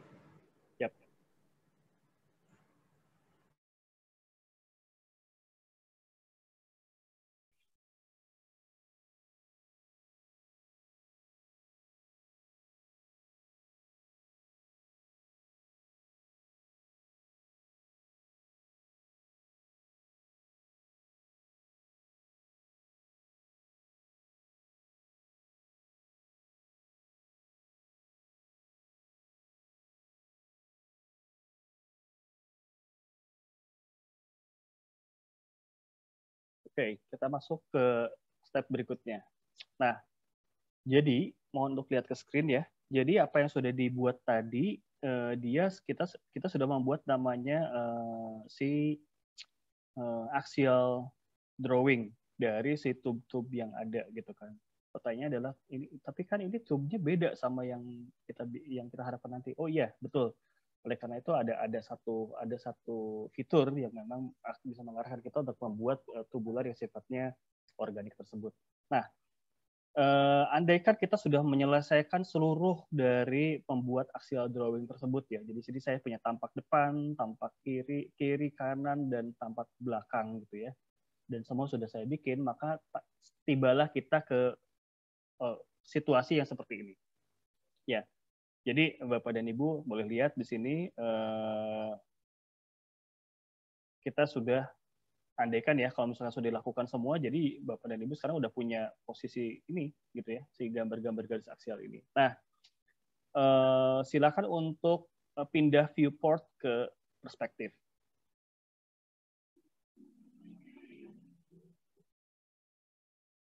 Oke, okay pada saat sekarang kita sudah melakukan hal tersebut gitu ya jadi yang akan kita lakukan adalah sekarang kita mempergunakan uh, fitur yang bisa membuat si gambar-gambar elevasi ini berdiri di tiga secara tiga dimensional nah untuk itu saya akan memberikan tutorial yang di step 2 ini ya. Jadi fokus ke uh, posisi model garis yang ada di sini. Silakan untuk lihat screen ya. Jadi di sini saya sudah uh, tunjukkan ada ada gambar si garis-garis aksialnya. Lalu kita punya panduan namanya dots. Kalau di Rhino ini sangat berguna karena ini berperan sebagai pembantu kita untuk membaca uh, atau memarking atau memberikan indikator sebuah uh, entitas model ya. Oke. Nah, yang akan saya lakukan adalah memindah menegakkan ini gitu kan secara tiga dimensional ada satu kasus di mana sangat mudah sebenarnya. Kita pakai namanya uh, rotate aja. Rotate pun di sini kan ada tiga, ada dua, dua macam ya. Kalau dilihat di kursor nih, di sini ada si di icon rotate ada dua, ada rotate 2D sama 3D, gitu ya. Nah, tapi ini kan effortnya agak banyak ya. Jadi kita cari dulu aksesnya, kita pastikan dia gak boleh project juga gitu kan. Ini projectnya dimatiin sehingga kita bisa rotate ke sini, ya aksesnya ke arah sana, putar lalu ke situ ya baru diputar 90 derajat. Dan kalau misalkan minus dan positifnya salah juga bisa bisa kembali yang tercepat adalah kita mempergunakan namanya kalau di Rhino orient three point. Jadi uh, sekarang ketik orient three point. Lalu ada dua orient ya. Ini dua dimensi yang ini tiga dimensi. Jadi kita pilih orient three point. Orient three point itu uh, prompt selanjutnya akan dia akan dia akan menanyakan objek yang mana yang akan di orient objeknya adalah kita pilih dia. Lalu enter, lalu dia nanya nih, reference point-nya mana gitu kan. Reference point-nya kita saya udah kasih nama nih satu, dua, A dan B. Jadi ikutin aja. Satu ini satu, ini dua, ini tiganya si A. Sekarang kita uh, target point yang berikutnya kita ketik atau boleh-boleh no bisa enggak juga tapi coba no aja ya lalu ketik ini arahkan ke satu ingat urutannya arahkan ke dua lalu arahkan ke tiga. Nah udah pindah. Gitu ya. Jadi eh, saya ulang eh, yang kita lakukan adalah melakukan orient point. Ketik orient point lalu eh, pastikan ya ini juga eh, snappingnya nyala point ya dan n jadi orient point select objeknya arahkan ke nomor satu arahkan ke nomor dua arahkan ke A. Satu eh, sorry salah kan? Satu dua A. Satu dua A gitu kan? Nah sehingga dengan berikutnya yang akan saya lakukan adalah hal yang sama. Ini juga yang ini posisi saya seperti ini ya. Jadi saya akan berdirikan dia. Jadi ini ke arah satu satu tiga B ya eh sorry bukan satu ini gitu kan dan seterusnya Ya, jadi ini bisa bisa dilakukan seluruhnya nih. Gitu kan. Nah ini kalau misalkan di kondisi yang membingungkan seperti ini sebetulnya uh, si snapping ini bisa bermanfaat nih. Jadi matikan yang kita kita tidak perlukan lalu nyalakan yang kita perlukan. Sebagai contoh di kasus ini berarti karena dot ini sifatnya adalah titik bisa matikan yang lain kecuali poin. Ya, jadi yang checklistnya cuma poin. Ya, coba dicek, dites dulu nih. Orient lagi. Ya kan dia akan milihnya poin langsung, poin ya. Oke, uh, silakan untuk Bapak dan Ibu mencoba ya. Uh, saya kasih waktu satu menit. Cukup mencobanya yang yang di depan sini aja Bu ya. Nanti kalau misalnya ada waktu setelah setelah workshop ini selesai ya, ini bisa dicoba semua nih. Ya, silakan. Waktu satu menit. Namanya perintahnya orient three point.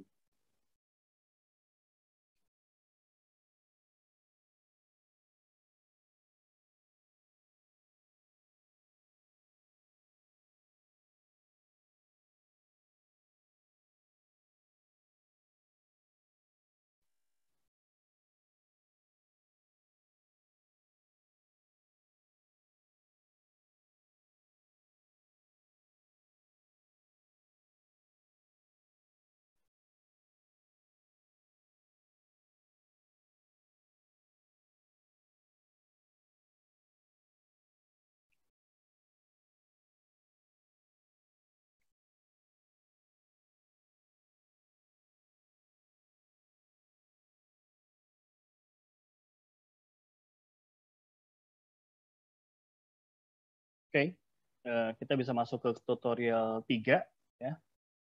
Di tutorial 3 ini, jadi setelah tadi kita berhasil memberdirikan objek ini ya.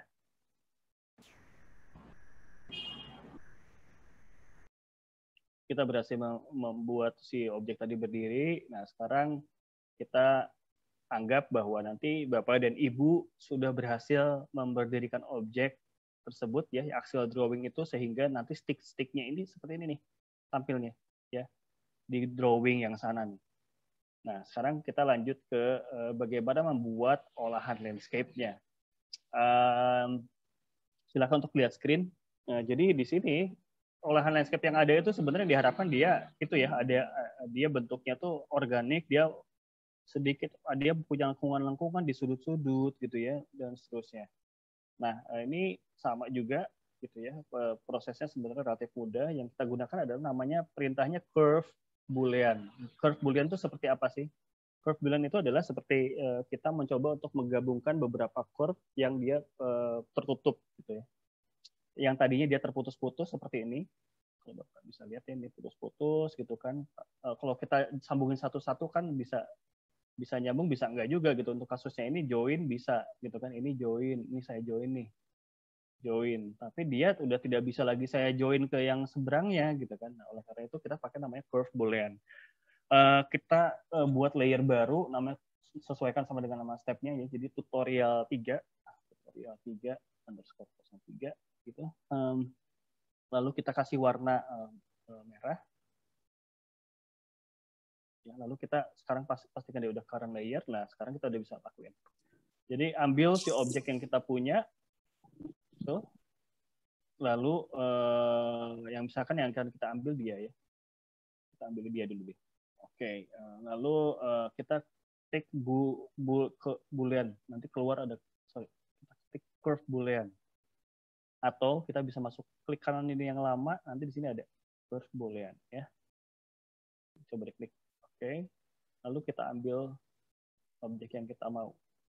Nah, eh, jadi select curve, curve-nya yang mana, enter. Nah, lalu kita dengan demikian nanti kita akan eh, mengambil part-part mana aja yang akan kita ambil region. Jadi kalau di AutoCAD kalau nggak salah namanya region ya.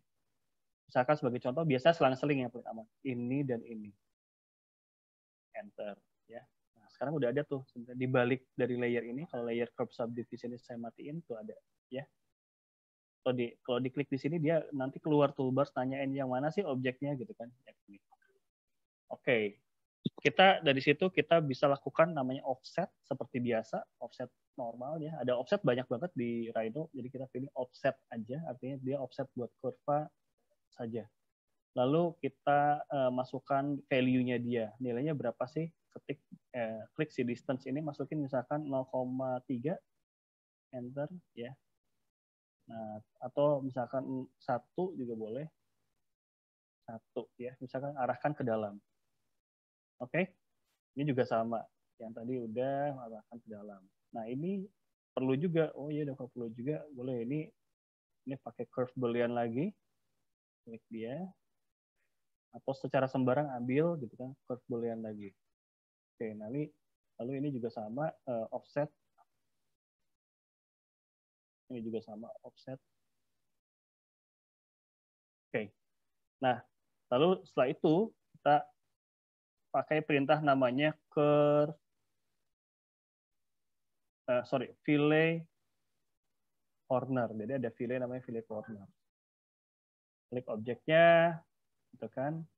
Masukkan value-nya, misalkan fillet radiusnya katakanlah 0.2. Oh, kelihatan ya. Tuh. Saya ulang, saya ulang. Uh, satu gitu. Oh ya, jadi kayak gitu. Ini juga sama tinggal di enter enter enter itu bisa dimasukkan buat value yang sama gitu oke saya kasih waktu bapak dan ibu uh, sekitar dua menit ya uh, pertama adalah lakukan seperti yang ditulis di sini ya curve boolean jadi memakai perintah namanya curve boolean ya ambil objeknya dulu ya lalu ketik curve boolean lalu dia nanya ya kan inside region yang mana yang mau di keep gitu ini enter. Satu aja cukup nggak apa-apa sih Bu, Bapak. Ya, jadi ini lalu offset, setelah itu perintahnya offset, masukkan value-nya satu. Setelah itu masukkan uh, kok corner.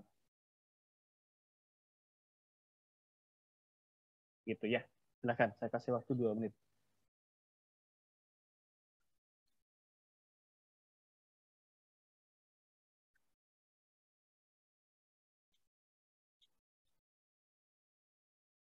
kalau mau juga ini bisa di fill, eh, di offset ke arah luar ya sebenarnya.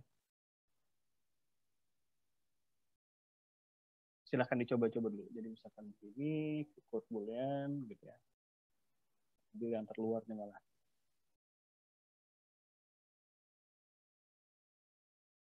Eh, offset sejauh itu.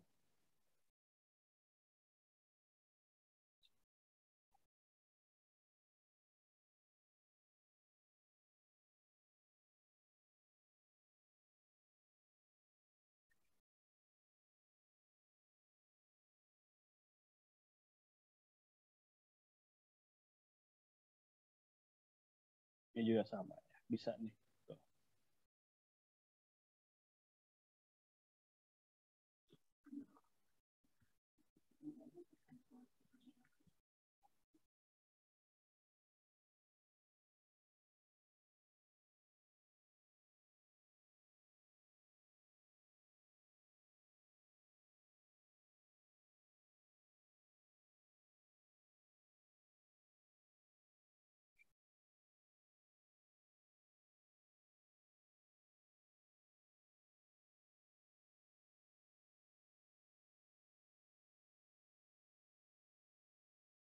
Oke, okay. uh, eh, dari situ kita bisa melakukan beberapa uh, tindak lanjut ya sehingga kalau andaikan kita membutuhkan dia punya ketebalan, andaikan dia adalah lantai dengan berlubang-lubang seperti ini, dia membutuhkan ketebalan, gitu ya. Kita bisa klik objeknya yang akan kita jadikan objek tiga dimensional ini misalkan lalu kita setelah kurvanya di kita select, kita ketik extrude curve. Hati-hati, extrude banyak sekali di sini. Jadi pilih extrude curve, cari extrude curve ya. Nah, jangan dulu di execute. Nah, ini biarkan dulu comment prompt-nya seperti ini ya.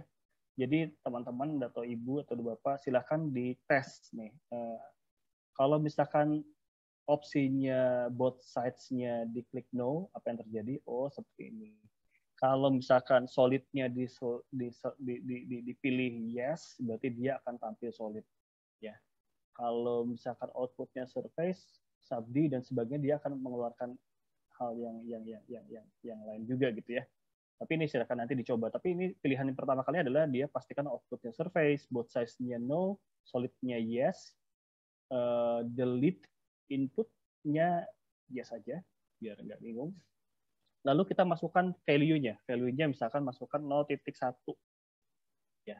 Atau mau udah kelihatan tebal 0.5 gitu ya. Lalu enter. Nah, tiba lah kita di tampilan seperti ini. Jadi boleh dilihat eh, lengkungnya sangat halus, sudah punya segmen-segmen gitu ya. Eh, lalu eh, dia udah jadi tiga dimensional. Silakan untuk dicoba Bapak Ibu satu menit.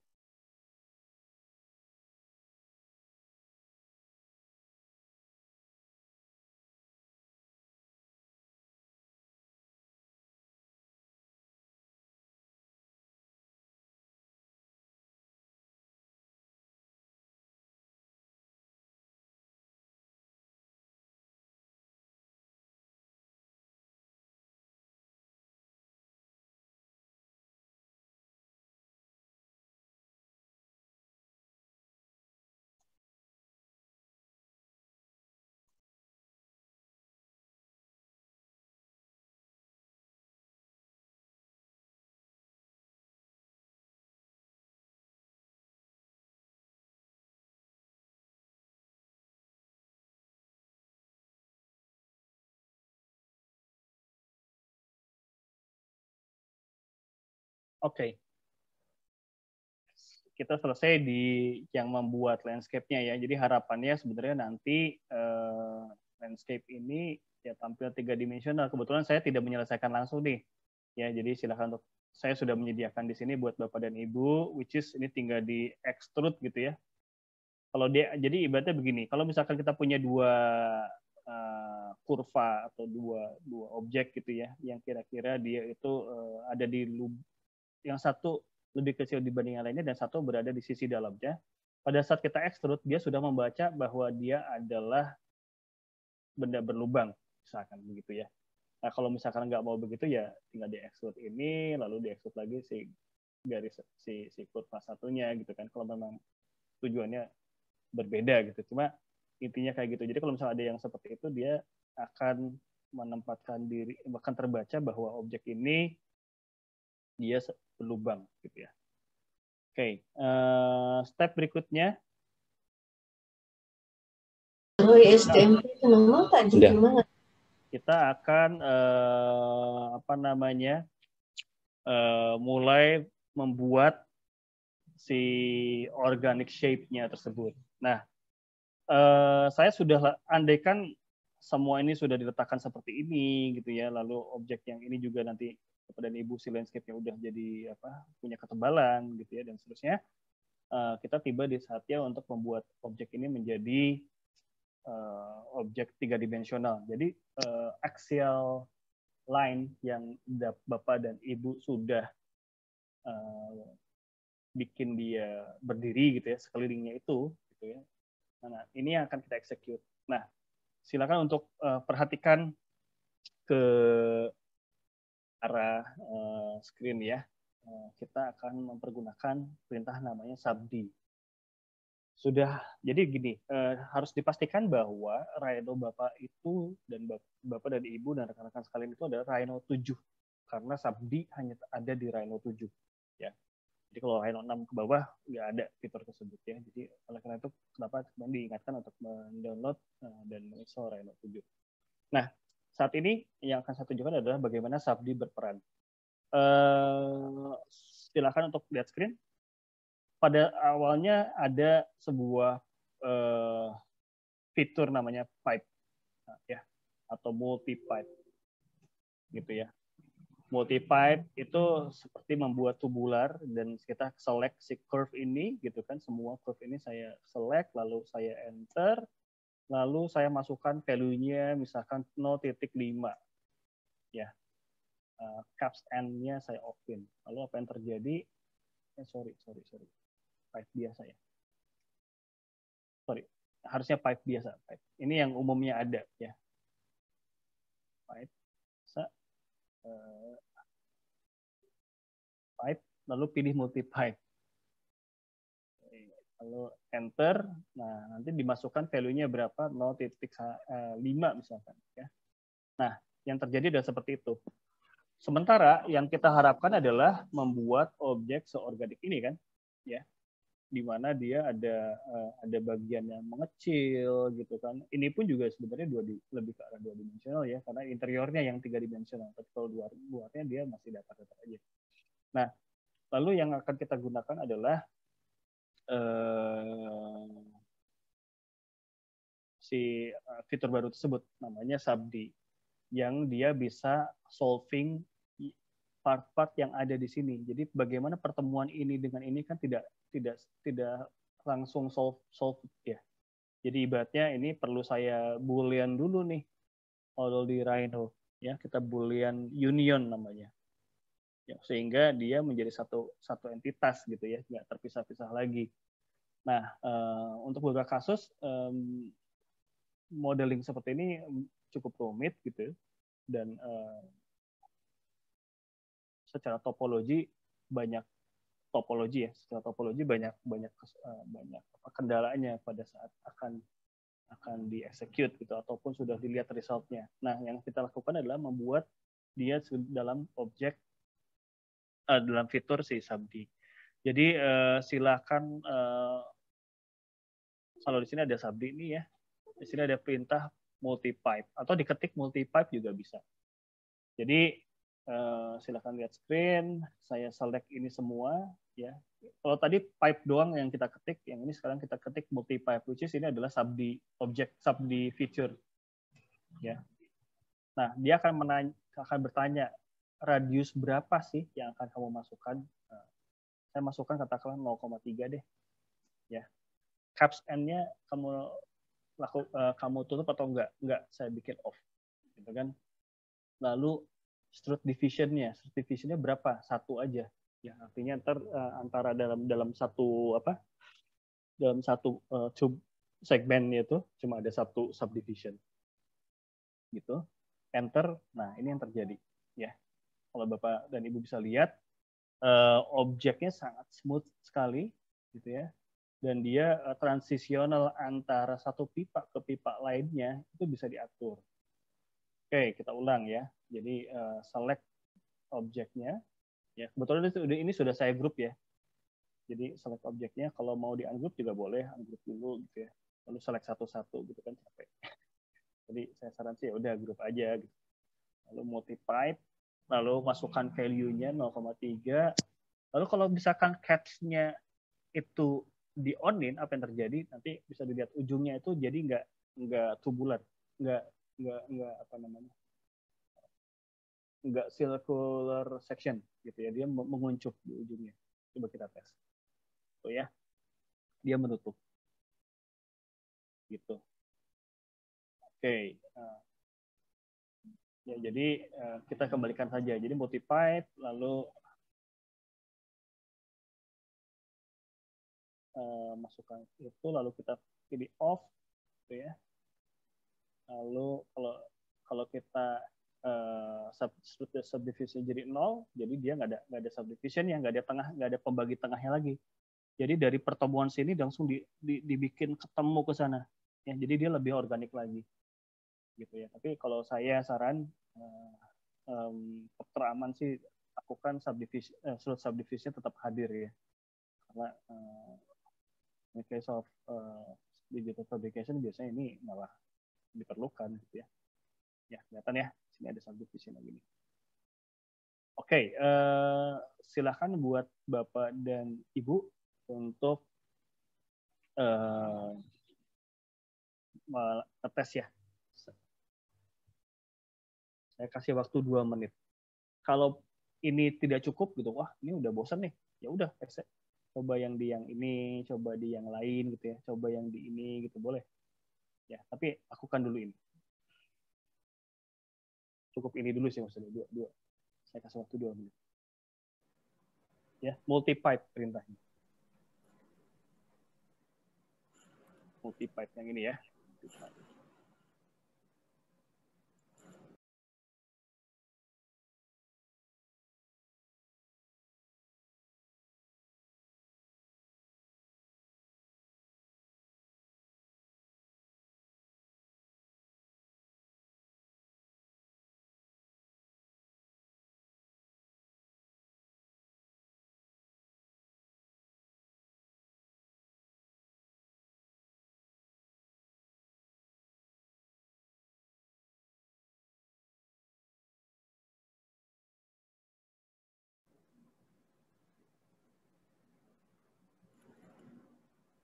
Pak Do, uh, Pak Dani ada ya. permintaan di kolom chat.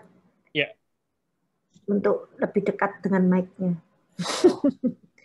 Mungkin suaranya kurang jelas, Pak. Dinyanyiin ya. aja Pak sekarang, Pak. Kalau lagu nah, bisa jelas. Sebentar, saya cari klip dulu. Ada pertanyaan bagi Bapak Ibu, silakan langsung buka mic atau langsung ke kolom chat kalau malu.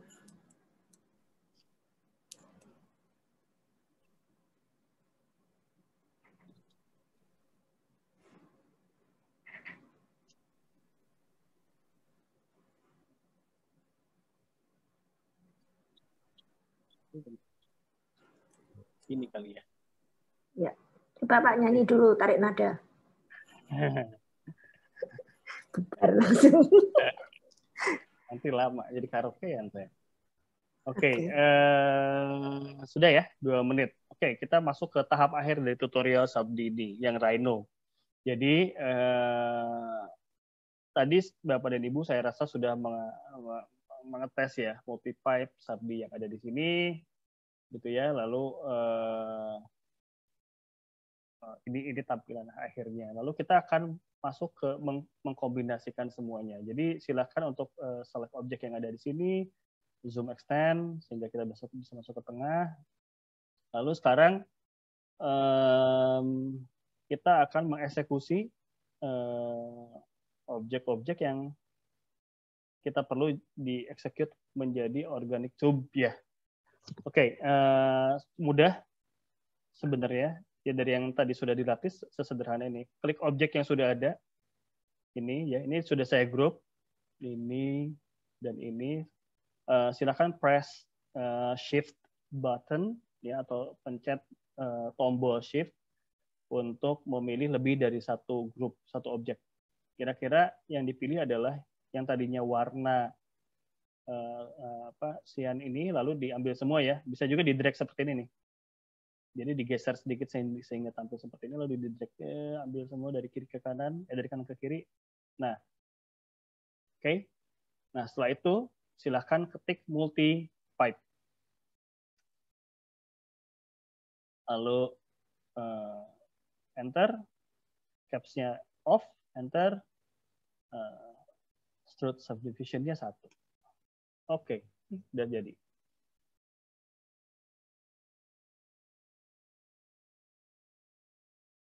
Oke, perlu diulang. Oke, lagi ya. Ambil yang kita perlukan. Multipipe, set radiusnya kalau 0,3 saya rasa lebih lebih proporsinya lebih tampil menarik gitu ya. Enter, enter, enter, Oke.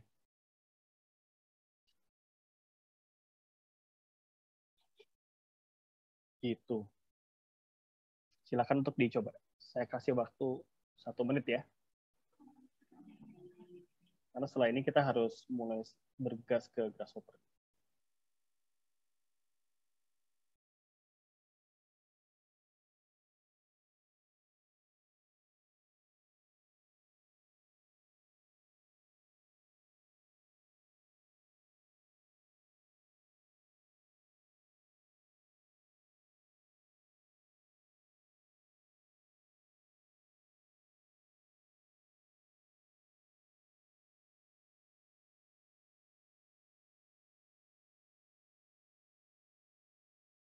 Untuk yang sudah silahkan dites aja ya. Jadi bisa tam lihat tampilannya, ganti misalkan view mode-nya menjadi uh, render gitu ya.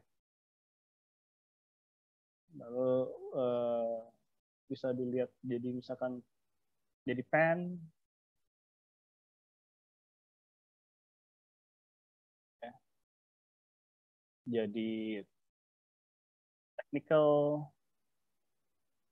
bisa ray, ray trace. Ray trace tuh sedikit seperti ray tracing jadi kayak kayak di apa kayak di render gitu ya. Tapi uh, shadingnya jauh lebih smooth lagi dari uh, default view yang render tadi gitu ya. Dan ini bisa di stop nih di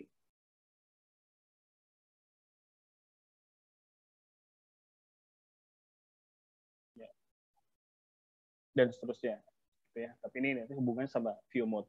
Oke kita kembali ke sini. Nah sebelum berakhir uh, saya akan mengajak bapak dan ibu uh, membuat gambar daerah tampak-tampak tampak atas empat tampak ya dan perspektif tapi dua dimensional. Nah uh, di sini saya sudah sediakan satu kurva. Uh, coba klik di sudut sini ya.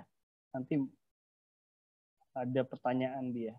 Sebentar, susah.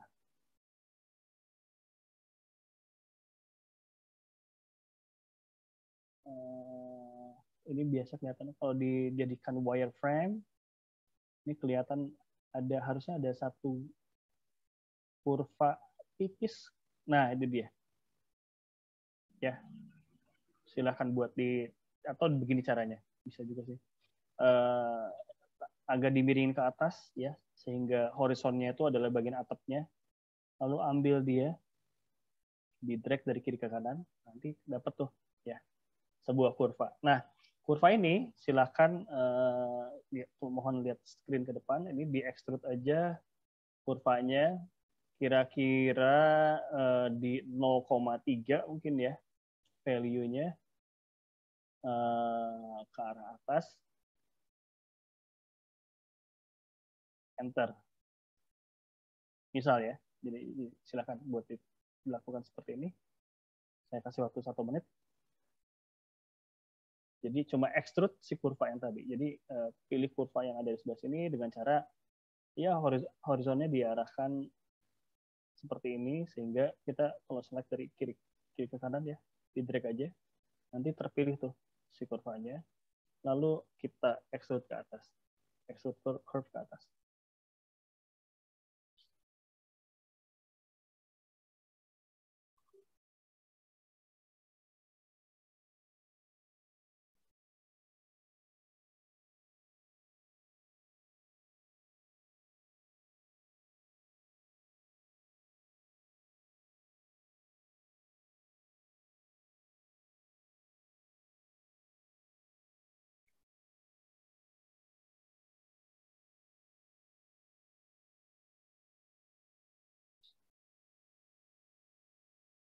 Oke, okay.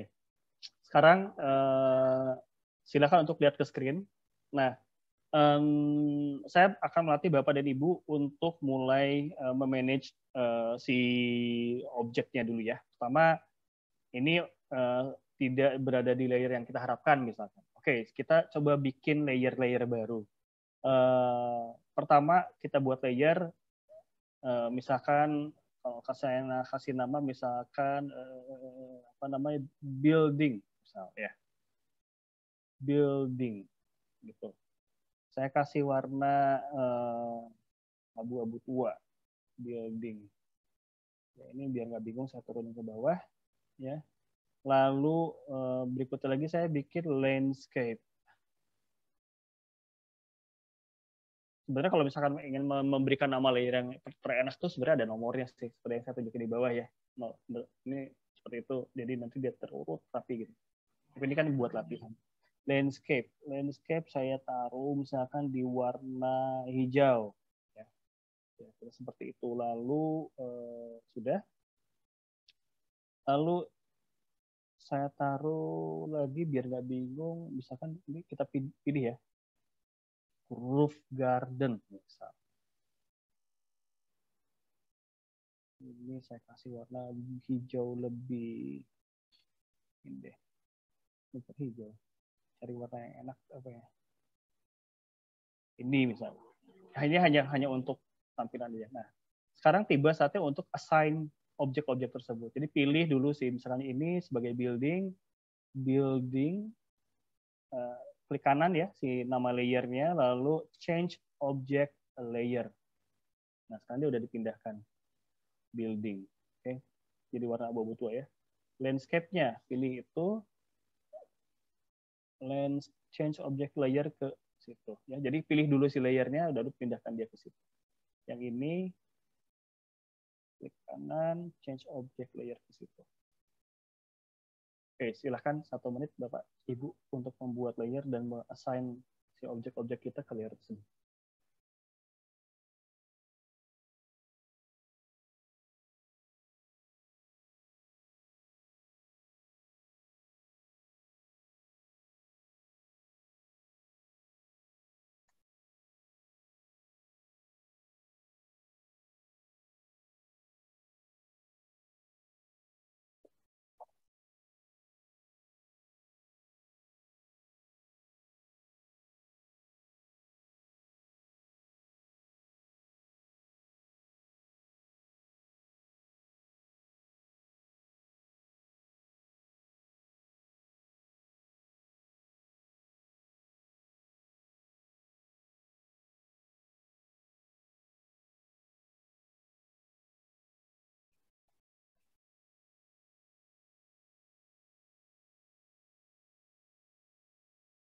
Oke. Okay. Nah, sekarang eh, saatnya kita mematikan seluruh layer kecuali tiga layer terakhir. Ya, jadi sel, eh, pilih dari sini sampai paling bawah sini. Lalu eh, turn off ya. Eh sorry, maaf. Pindahkan dulu si layernya ke current layernya ke ke building deh current layering atau klik kanan si building lalu set current. Nah, lalu ini dari sini eh, kita matikan satu kali klik yang warna yang lampu ini tetap mati semua. Oke okay, ya. Oke, okay. nah sekarang kita siap untuk eh, membuat eh, gambar tampak-tampak yang which is ini adalah bagian yang paling males untuk dilakukan kali ya karena uh, bentuk organik relatif sulit untuk divisualisasiin secara dua dimensional katanya. Dengan dengan teknik native modeling bersama nerves-nya di Rhino ini relatif lebih lebih mudah. Jadi ada satu ada satu uh, feature namanya Make 2D. Jadi silakan untuk klik objek yang ada di sini, gitu. Klik objek yang ada di situ, pilih uh, lebih enak tampilnya di ini ya, di viewport dia perspektif ya lalu uh, pilih tampilan yang paling yang paling menurut bapak dan ibu menarik yang mana? Misalkan seperti itu. Ya ini deh gitu ya. Lalu uh, ketik make make to d. Nanti akan keluar dialog box seperti ini. Nah, lalu ada pertanyaan yang mau mau di, dibikin apa sih? Mau view mau view si uh, perspektifnya aja oh enggak gitu kan oh saya mau tiga tiga tampak gitu ya atas depan kiri atau kanan eh, lalu satu perspektif. Nah dari situ tolong perhatikan eh, opsi-opsi dari apa yang dibikin dua dimensionalnya ini ya. Eh, saya saran selalu maintain source layers. Dengan demikian nanti layernya akan terpisah-pisah antara antara build, layernya building, layernya roof garden, layernya landscape ya. Kalau layernya ada 100 juga 100 100-nya akan dipisah-pisah sama dia. Lalu uh, klik tangan edges, kenapa? Karena memang kita akan me, me, me, mengeksekusi bentuk-bentuk uh, atau edge-edge yang curvature di, di si modeling ini. Lalu yang terpenting berikutnya adalah lebih baik di grup. Jadi untuk kalau udah kepilih di grup dan pindah-pindah ini gampang ya. Nah sekarang uh, sedikit di uh, sudah pastikan seperti ini ya. Jadi third angle projection, maintain source layer, uh, group output dan tangan seterusnya. Lalu kita ketik S ya, kita ketik kita klik OK. Otomatis nanti layer-layer baru akan tampil di sini ya. Bisa dilihat ya di sini. Sekarang dia lagi dieksekusi, dia akan mengeksekusi layer yang ada. Ini biasanya text time ya, kelihatannya. Tuh. keluar layer baru. Keluar semua.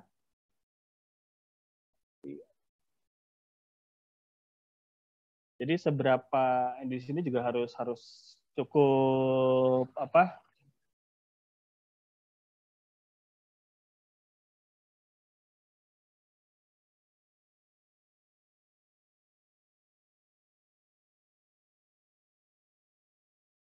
uh, layernya banyak ya cukup lama. Oke, nah sekarang kalau Bapak dan Ibu lihat, uh, masuk ke viewportnya top. Nah, di sini sekarang kita udah punya gambar dua uh, dimensi dari seluruh gambar yang ada ya, tuh ya. Kelihatan ya. Ini bil ya ini tampak depan, tampak kanan, uh, lalu ini juga ya tampil rapih gitu ya kira-kira begitu jadi um, terakhir di Rhino nih uh, kita bisa pakai namanya clipping plane jadi silahkan masuk ke viewport uh, top eh sorry front lalu klik kanan eh klik si rollout ini sampai menemukan clipping plane lalu bikin kotak yang ke arah sana. Oke, jangan kaget. Eh, perspektif lagi, lalu kita geserkan objek yang ini ke mendekati ini. Ya. Lalu eh, ini sebagai bonus aja ini masuk ke eh, objek property. Di sini ada ada layer nih, sebelah kirinya ada objek property biasanya. Lalu pilih yang tadinya front, dimatikan ceknya jadi perspektif. Nah, sekarang kalau digeser-geser, kalau ingin mudah sih ketik gambolnya ya. Nah, ini bisa dilihat nih foto seperti itu. Dan uh, silakan kalau mau uh, di make to d gitu ya, make to d. Ini jangan di ini jangan diambil nih, jangan diikut klik si make to d-nya, si si, si pen-nya, cukup si objeknya aja. Lalu ini bisa diketik make to d kalau kita hanya butuh perspektif, tinggal pilih pilihannya yang view. Jadi potongan, jadi kalau kita bicara, bicara potongan perspektif, well, udah harusnya sudah bisa executed ya. Nah ini uh, jangan kaget, dia pasti ada di koordinat 0001, jadi tinggal digeser aja. Ya, ini udah ada. Tuh ya kalau misalkan uh, ini mungkin lebih lebih clearnya kalau kita tampilkan di uh, mode-nya adalah si pen ya kelihatan ya gitu oke okay, uh, itu untuk si rhinoceros-nya ada pertanyaan lebih dulu eh saya saya langsung ke grasshopper aja kali ya biar waktunya cukup. Jadi nanti kita uh, gabungkan semua pertanyaan di akhir. Oke. Okay sampai sejauh ini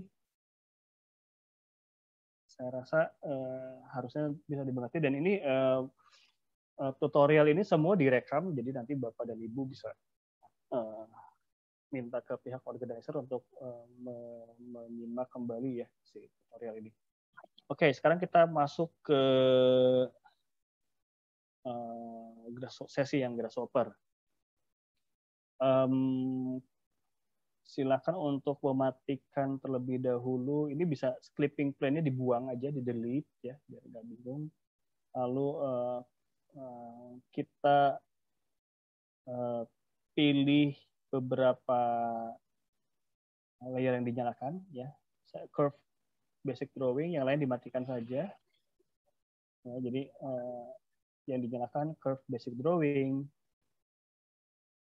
lalu uh, landscape-nya boleh landscape tapi kita lock ya lalu ini tidak perlu curve subdivision enggak map reference enggak oke okay. cukup nyalakan saja si curve basic drawing lalu uh, curve exterior layout-nya dinyalakan tapi di lock kalau tidak perlu si Mac2D ini disimpan dulu aja di, di hide aja di turn off si layarnya ya. Oke, letakkan dia di sebelah kiri sini. Lalu kita akan running si Grasshopper.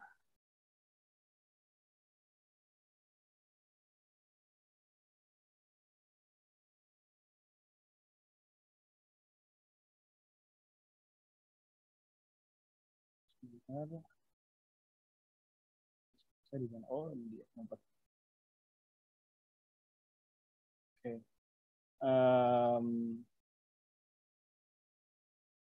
Tolong grasshopper diletakkan seperti ini.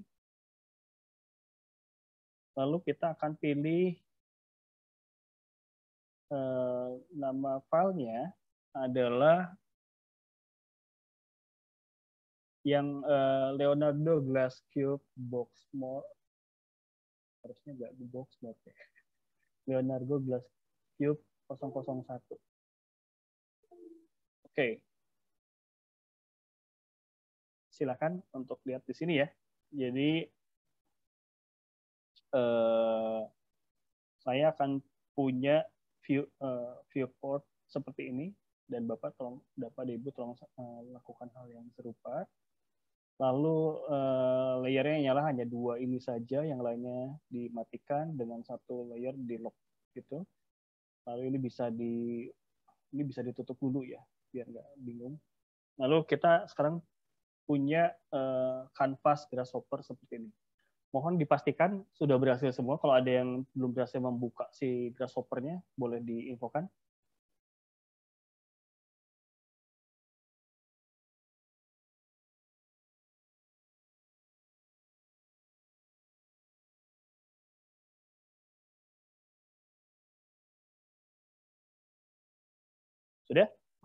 Berarti sudah semua ya. Nah, eh, saya jelaskan tentang si, si Grasshopper Canvas-nya dulu. Jadi si kan, Grasshopper ini dia adalah sebuah visual programming tooling untuk Rhinoceros, ya, di mana dia bisa associated terhadap apa yang ada di Rhino sini, bisa juga dia stand alone terhadap objek yang dibikin di sini tanpa dibuat terlebih dahulu di Rhinoceros ya. Jadi baru setelah setelah jadi setelah jadi si formulanya baru di, di, di bake gitu atau dihadirkan di rhinoceros.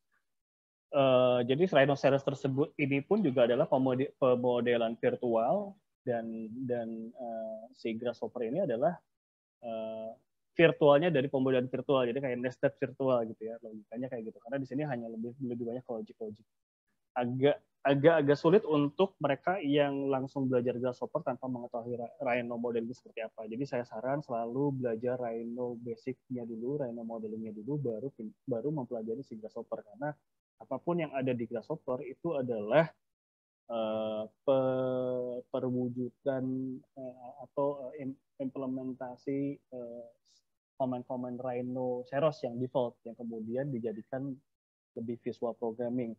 Nah, uh, di sini saya akan membahas pertama kali adalah si navigasinya dulu. Jadi yang kita sebut di sini adalah canvas grasshopper, ya canvas grasshopper. Canvas grasshopper ini akan terdiri dari banyak komponen seperti yang saya tunjukkan di sini. Untuk saat ini uh, uh, bapak dan bapak mungkin bapak dan ibu mungkin cuma berhenti sampai si display, ya. Jadi yang yang ke arah kiri dari sini ke sini itu uh, kebetulan ini adalah uh, komponen yang saya pergunakan keseharian. Nah, di sini ada komponen si visual art yang tadi adalah yang tadi Pak Evert sudah jelaskan, visual art ada di Rhinoceros juga bisa berlaku di di apa namanya di di Grasshopper juga bisa digunakan juga di Grasshopper. Canvas ini, jadi ini saya paksa untuk dia full screen canvas dulu ya, biar ngejelasin gampang. Canvas ini dia eh, terdiri dari komponen, ini adalah komponen. Dari setiap komponen ini eh, dia diatur dalam beberapa tab. Jadi tab parameter, tab matematika, tab set, tab vector, tab curve, tab surface, meshes, intersection, translation, display. Ya, kira-kira kayak gitu. Oh, di sini hujan besar. Uh, sebentar.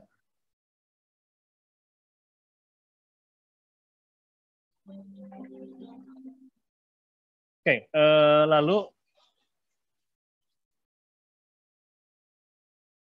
uh, dari komponen-komponen yang ada di sini, ini biasanya terdiri dari komponen macam-macam ya. Jadi tabnya ada di sini, lalu uh, setiap komponen terdiri dari komponen yang ter, apa, ter, uh, harus dimasukkan input ya, which is itu ada dari sebelah kiri. Ini kalau diarah, kursor diarahkan ke arah sebelah kiri, dia minta input.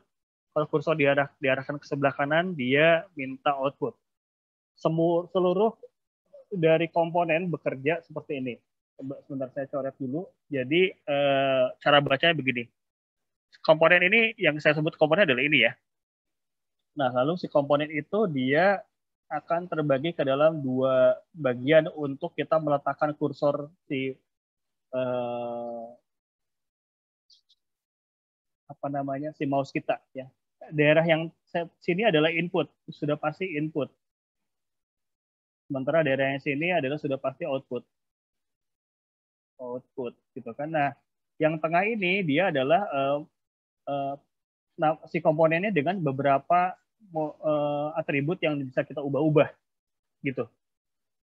Nah, lalu um, ini saya tunjukkan. Jadi kalau misalkan Bapak dan Ibu melihat arahkan kursor ke arah kiri gitu ya, dia akan meminta eh, dia akan menunjukkan value-value yang terkandung di dalamnya. Ya, kalau dia ke kanan berarti dia output. Kalau dia tepat di tengah-tengah, dia khusus membicara tentang si komponennya. Begitu juga untuk klik kanan. Klik kanannya dia kalau rolloutnya kalau di klik kanan si inputnya si curve ini dia akan meminta akan punya beberapa atribut lain ya node size juga sama strut size juga sama gitu ya dan seterusnya nah eh, ini adalah komponen gitu ya. Si komponen-komponen ini berjalan linear. Jadi dia kalau dimasukin ke sini dia nggak bisa putar lagi ke sini. Ya dia pasti merah. Artinya apa? Fail. Nah kalau kalau ibu dan bapak lihat di sini war apa sih apa sih warna orange itu? Orange itu uh, ya orange itu menunjukkan bahwa komponen tersebut uh, masih kosong, masih empty parameternya. Tapi kalau yang warnanya abu-abu, dia sudah berisi. Nah, sekarang kita tes. Kita tes ya. Kita tes. Uh, saya saya minimize dulu si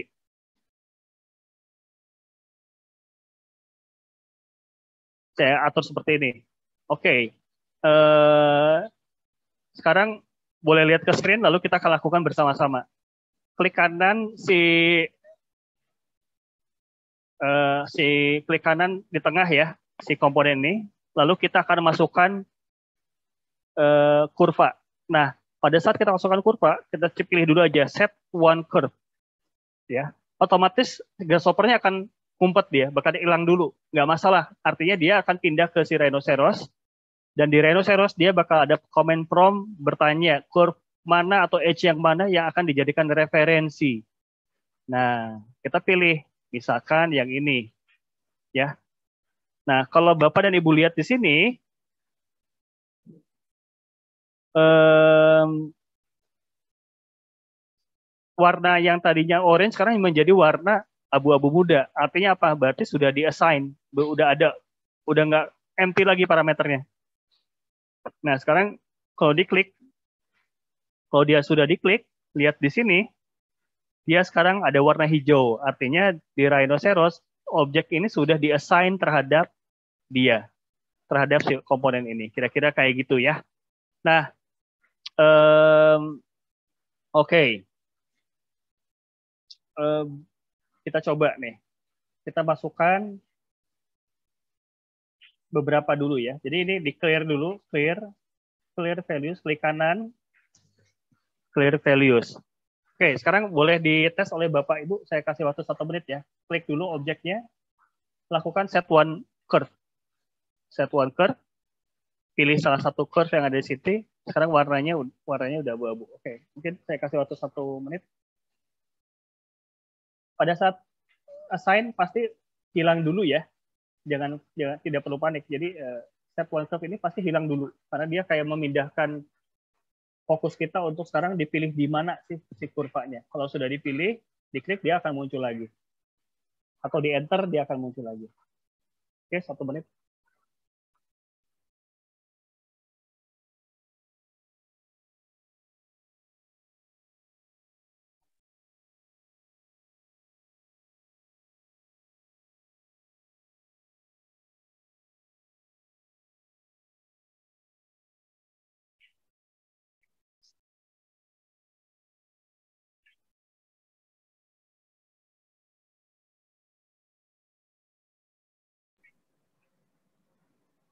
Oke, okay, kalau pertanyaan? Sudah, ya. Enggak, itu ada oh. di kolom chat. Oh. Kolom. Oh, yang tadi, Bu. Sudah ya. Oke, okay, sorry, Pak. Ya. ya.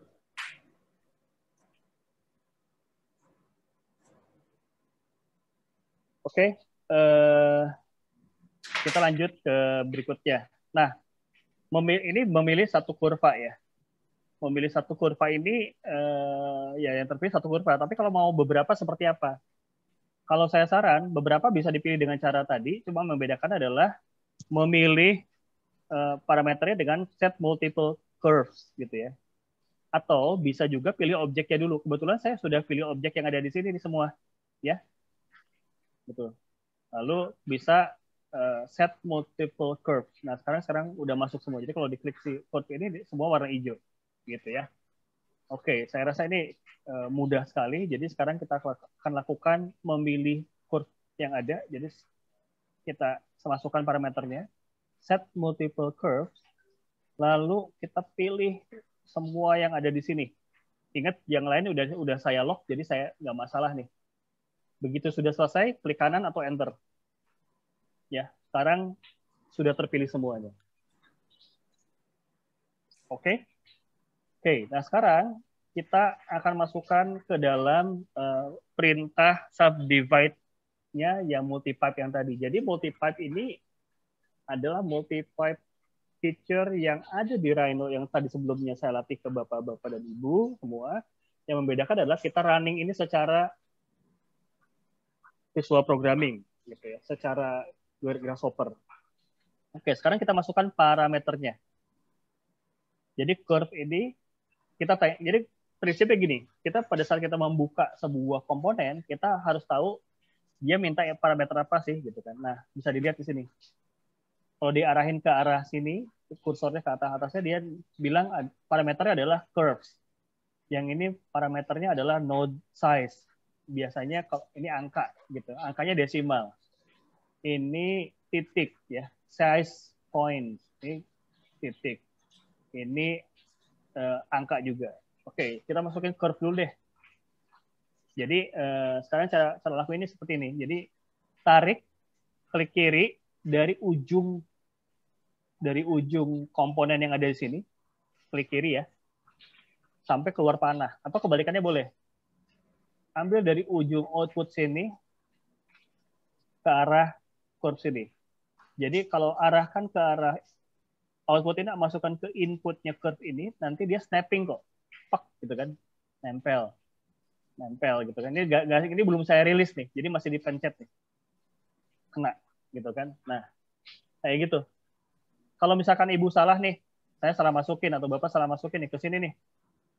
Ya, dia pasti warna orange pasti dia artinya masih dianggap bukan bukan itu komponennya atau merah salah gitu kan jadi jangan takut uh, pencet atau press uh, control button ya sambil menarik si klik kiri ya dari sini nanti keluar ada icon negatif negatif tuh di ujung nah gitu ini ke sini kalau mau dicabut lagi berarti di di, di apa kan, pencet kontrol sambil tarik dari eh, pakai mouse ke kiri ya itu buat ngerilis. Oke, silakan dicoba dulu. Masukkan ke situ. Ya, udah ya, udah kelihatan tuh. Pasti mudah sekali. Ini sebenarnya grasshopper cuma gini-gini aja sih nyolok-nyolokin orang. Lalu uh, dari situ kita uh, mulai masukkan uh, apa namanya? Uh, lupa saya. Uh, strut size-nya ya. Strut size-nya saya masukkan ke 0.45. Oke. Okay. Ya. Nah, ini adalah numerical value. Numerical value ini atau numerical slider ini bisa Bapak ambil dari input sebenarnya. Ya kalau mau bikin nol dari dari awal ya input ini. Jadi klik input, ya jadi masuk ke tabnya parameter di sini kan ada tabnya parameter math set dan sebagainya tab ambil yang tab parameter lalu di dalam di dalam sectionnya input keluar nanti ada number slider number slider ya uh, defaultnya dia berjalan slidernya dari 0, jadi bisa digeser 0 sampai 1. Gitu. Ini juga ya, kalau mau diubah ya double klik slidernya, lalu value besar ini kita ubah ya angkanya gitu. Nah, sekarang kita coba dulu mas masukkan dulu yang ini Bapak dan Ibu ya. Masukkan dulu si 045 ini ke strut size. Udah? Kalau sudah, coba digeser slidernya dari kiri ya semakin tipis sekali itu si subnya ke kanan semakin besar dan dia menjadi datar kayak pipa tapi daerah pertemuan antara pipa-pipa yang ada dia sudah solving sudah solve ya itu ini ini dia kita taruh yang tadi kita taruh di 045 oke okay. Berikutnya uh, kita masukkan, uh, saya lupa, node size. Ya, kita masukkan node size. Jadi ini adalah besaran si node-nya. Coba digeser, mau seberapa kecil node-nya, dia nanti proporsional terhadap uh, si apa namanya? Lupa saya. Proporsional terhadap si tubularnya. Gitu ya terhadap tubularnya. Nah, uh, silahkan dicoba ya. Ini sambil sambil saya berbicara, sambil Bapak mencoba dan Ibu mencoba ya. Uh, jadi uh, inilah yang disebut dengan parametric modeling, di mana uh, parametric modeling itu dia adalah sebuah pemodelan yang uh, generatornya dia untuk mengenerate objek yang ada di viewportnya kita itu mempergunakan uh, set dari banyak parameter gitu ya. Bisa satu, bisa dua, bisa ratusan, bisa ribuan juga sebenarnya. Tinggal seberapa sanggup di hardware-nya. Gitu. Nah, kenapa sebut sebagai parametric modeling? Karena eh, di sini parameter-parameter inilah yang akhirnya mengatur pemodelan, menginput eh, formula yang ada di pemodelan secara parametrically. Jadi pada saat parameternya diubah, dia secara otomatis akan mengupdate objek-objek uh, yang yang di yang di generate-nya yang dilahirkannya gitu kan kira-kira kayak gitu oke okay. tahap berikutnya adalah uh,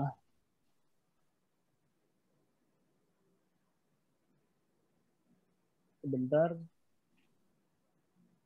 ini sudah. Yang lainnya sederhana sih sebenarnya ya. Jadi kalau segmen dia mau jadi berapa segmen and offset dia uh, mau seberapa jauh si tapi nggak ada ini ya saya biasa sini sih ya berpengaruh gitu ya. Ini ini bisa dibesarkan juga ya bisa diubah juga. Kalau mau diubah lebih dari satu ini kan value maksimumnya dia satu nih. Kalau misalkan ibu dan bapak melihat oh ini terlalu kecil ya atau mau di lebih terlalu besar eh, parameter ujungnya ya maksimumnya udah masuk ke double klik si slidernya lalu kita kita uh, ubah objeknya eh sorry, kita ubah value maksimumnya di sini. Jadi double klik dia, lalu kita ketik misalkan paling besar di 0,8 deh, eh sorry 0,75 gitu ya, 0,75. Lalu harus diklik ya Bapak, Ibu. Cek nih. Oke. Okay. Lalu harus di OK-in. Oke, okay. artinya dia assign. Nah, jadi sekarang dia startnya dari 0 sampai kalau 0 tuh nggak gagal ya. Jadi dia sampai 07. Kalau misalkan 0, mau di, di, di, dibatasin juga ya udah, minimumnya kita kasih nilai 0.15 misalkan. Artinya 15 cm ya unitnya. Ini kebetulan saya pakai meter. Jadi ini tarik ke sini dia jadi 15, lalu tarik ke sana dia maksimumnya 7 ya. Kira-kira kayak gitu. Ini berlaku juga untuk copy dan paste. Jadi klik sebagai contoh, klik si slider yang ada sini delete lalu ini di Ctrl C, Ctrl V. Ya, masukkan ke field size. Ya, bisa kayak gitu. Andaikan value-nya sama, Bapak dan Ibu, value-nya selalu sama antara ini dengan ini dan pengen berjalan proporsional, ya nggak apa-apa. Ya ini di ini di rilis dulu ya. Uh, sambil pencet si control, dia dirilis. Oke. Okay. Lalu ini dimasukkan ke strut size. Jadi dari dari satu parameter dari satu slider parameter nih. Parameter slider, sorry. Ya, ini bisa. Jadi dia punya relasi gitu. Entah, jadi dengan satu parameter saja mengubah semua. Di satu kasus tertentu, eh, semakin sedikit parameter yang kita asosiasikan, yang kita relasikan, itu semakin menyenangkan. Jadi ibaratnya sebagai contoh, eh, Bapak dan Ibu bisa mempergunakan, katakanlah sekarang kita punya teorinya gini, eh, si node size ini selalu lebih besar eh, 0,25 dari strut size-nya misal ya atau kebalikannya. Jadi kita bisa masuk ke mass di sini. Lalu di sini ada namanya uh, operator, mathematical operator gitu ya. Pilih multiplication taruh di sini. Lalu kita masukkan angka.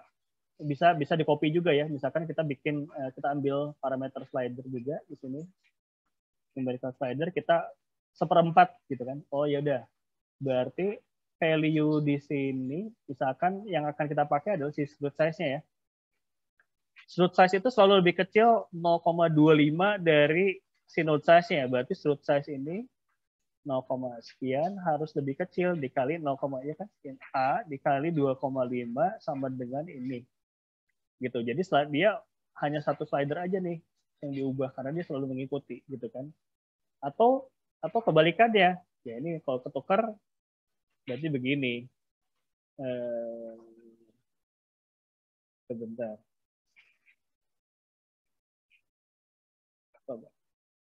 oh sorry. Kalau ketukar bukan dikali berarti dibagi. Jadi kita pakai namanya oh, mathematical operationnya adalah uh, pembagian division. Ini gitu kan dibagi. Ini misal ya. Oh kan gedut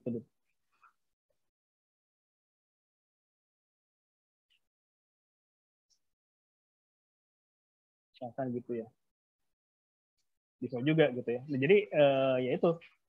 Sekarang ini berjalan secara parametrik. Kira-kira gitu bapak dan ibu. Oke ini saya pecah dulu ke sini. Oke, sampai sejauh ini ada pertanyaan terlebih dahulu. Yang saya tunjukkan di sini relatif sangat sederhana, tapi ini adalah hal yang menurut saya uh, sangat sangat visual dan dan deskriptif uh, menggambarkan tentang apa itu parametric modeling dan mungkin dengan demikian ini bisa mengurangi keengganan kita buat buat belajar parametric modeling ya karena sebenarnya uh, uh, hanya dia dia uh, operasinya relatif seperti ini gitu. Oke, okay, uh, eh, ada pertanyaan terlebih dahulu?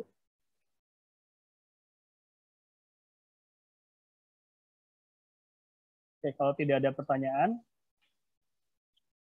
uh, silakan untuk mencoba-coba Bapak dan Ibu ya. Saya kasih waktu dua menit.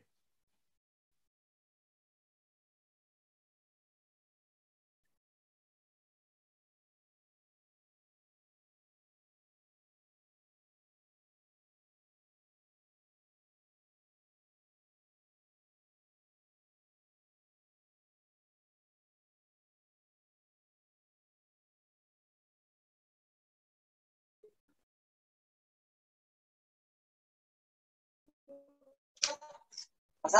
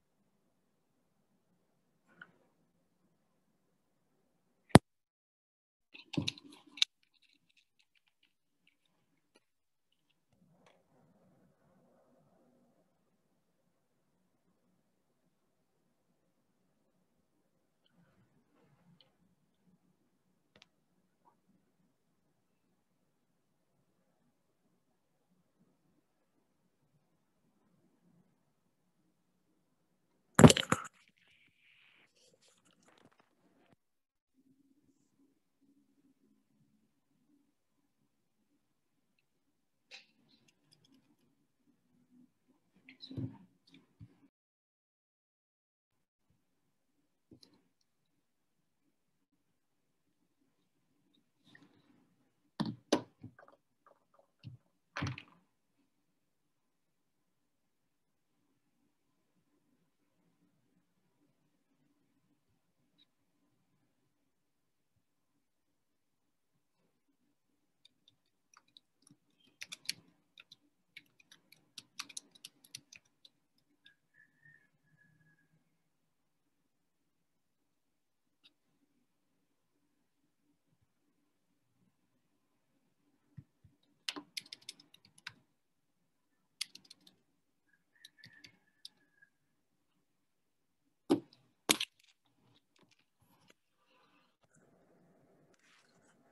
Yes.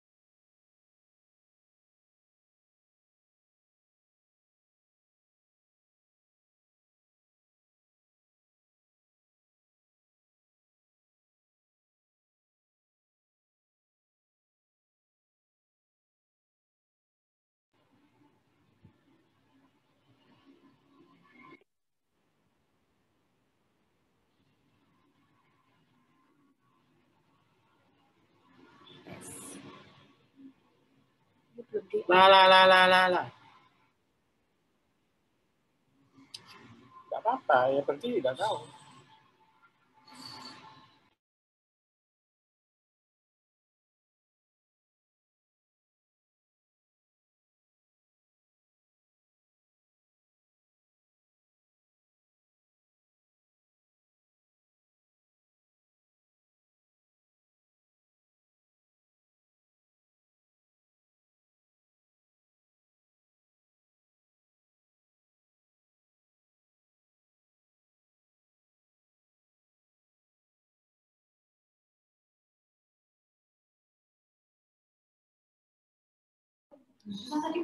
Tes.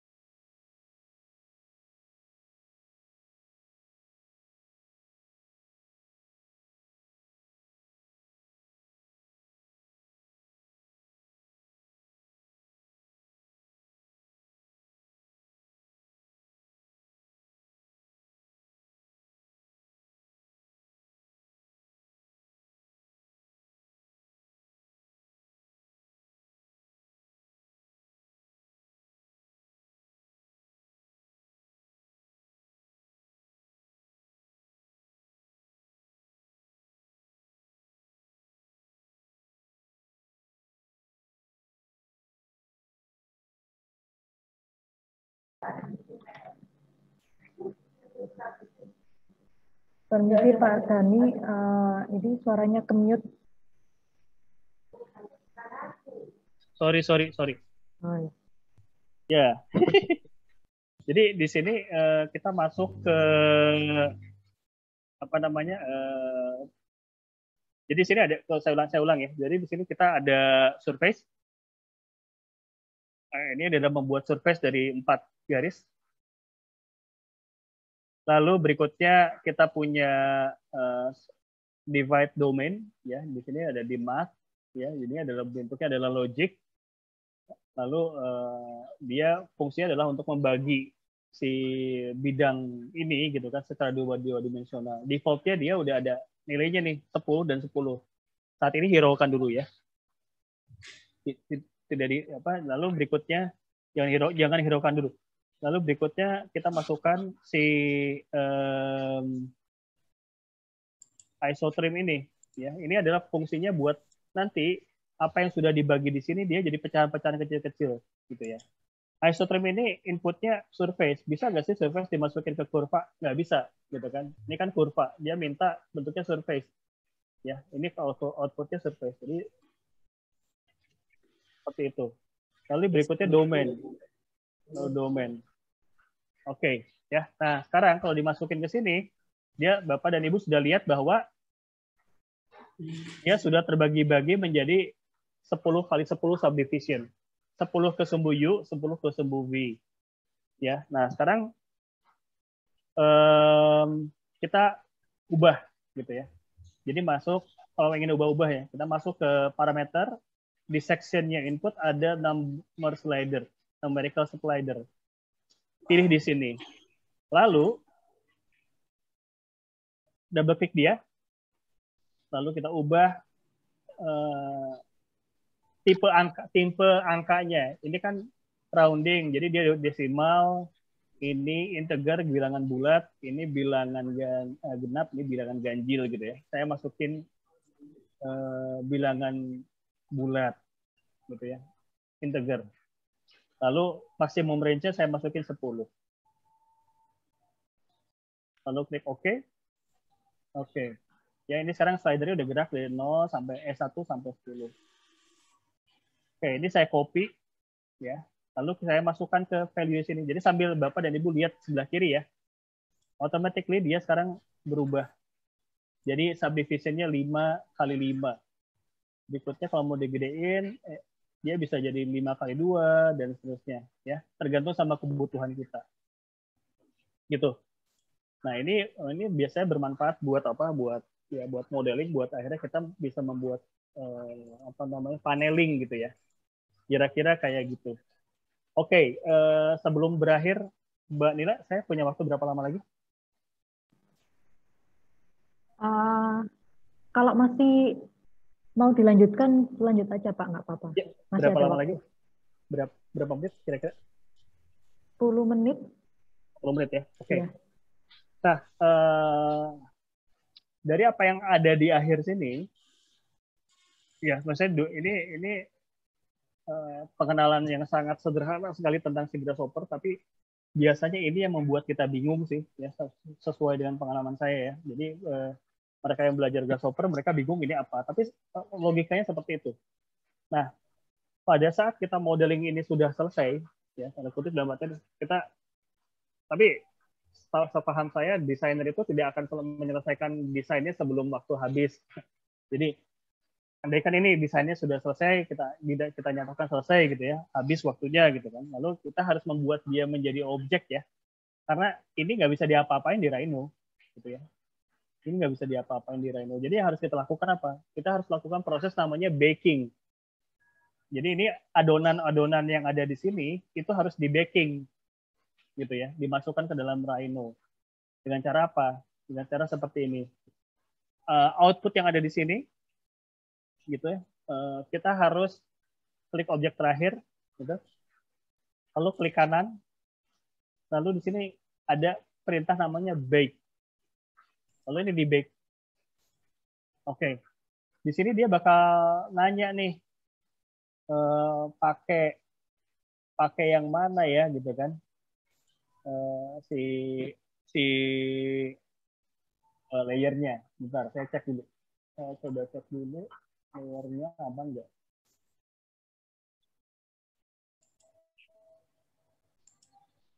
Oke. Okay.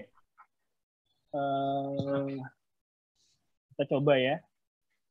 Jadi klik kanan sini, bake. Kita pilih namanya GH Surface. Ya, ini. Uh, lalu grup nggak? Amannya sih di grup dulu. Ya, yes.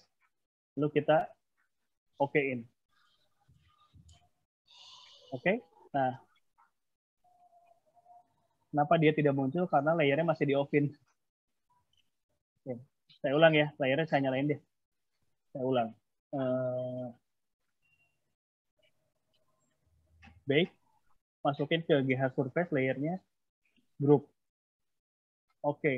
ya nih, ini udah muncul.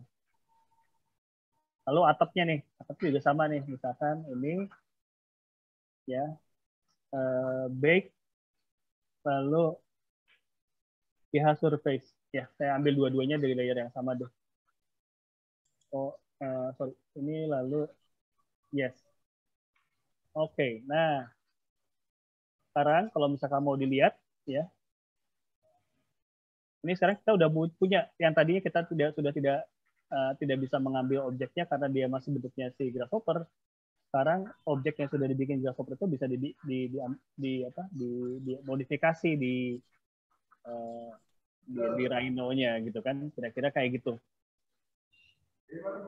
Gitu. Um, ini bisa kalau misalkan mau dilihat lebih lanjut ini bisa di kita di sebelah kanan atas ini ada view mode-nya si Grasshopper ya. Ini bisa dipilih yang di open ya di open dibikin off. Kalau mau dilihat lagi dia kesiniin kalau mau lihat dia di matiin.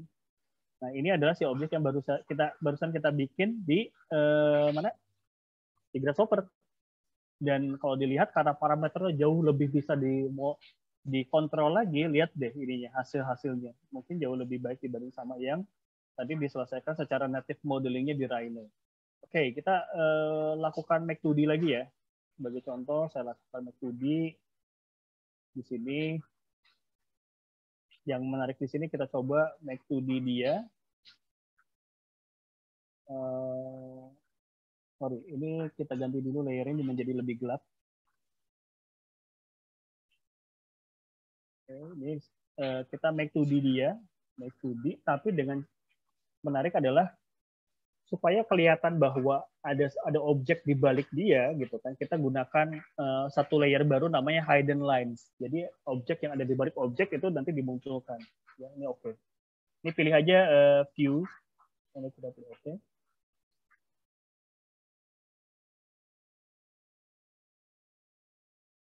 Kenapa dia tidak muncul? Karena layernya saya matiin. Lalu tadi Oke, ini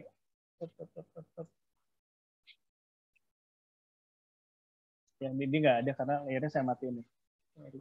Saya nyalain ini layernya. Eh, lalu eh, kalau mau mengambil objek yang baru saja kita buat, pakai perintah apa? Namanya pakai perintah selas select class object. Select. Select. Select.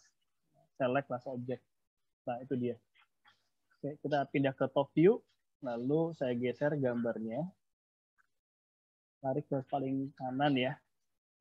Nah ini teman-teman bisa lihat bahwa eh, bahkan objek yang ada di baliknya dimunculkan tuh.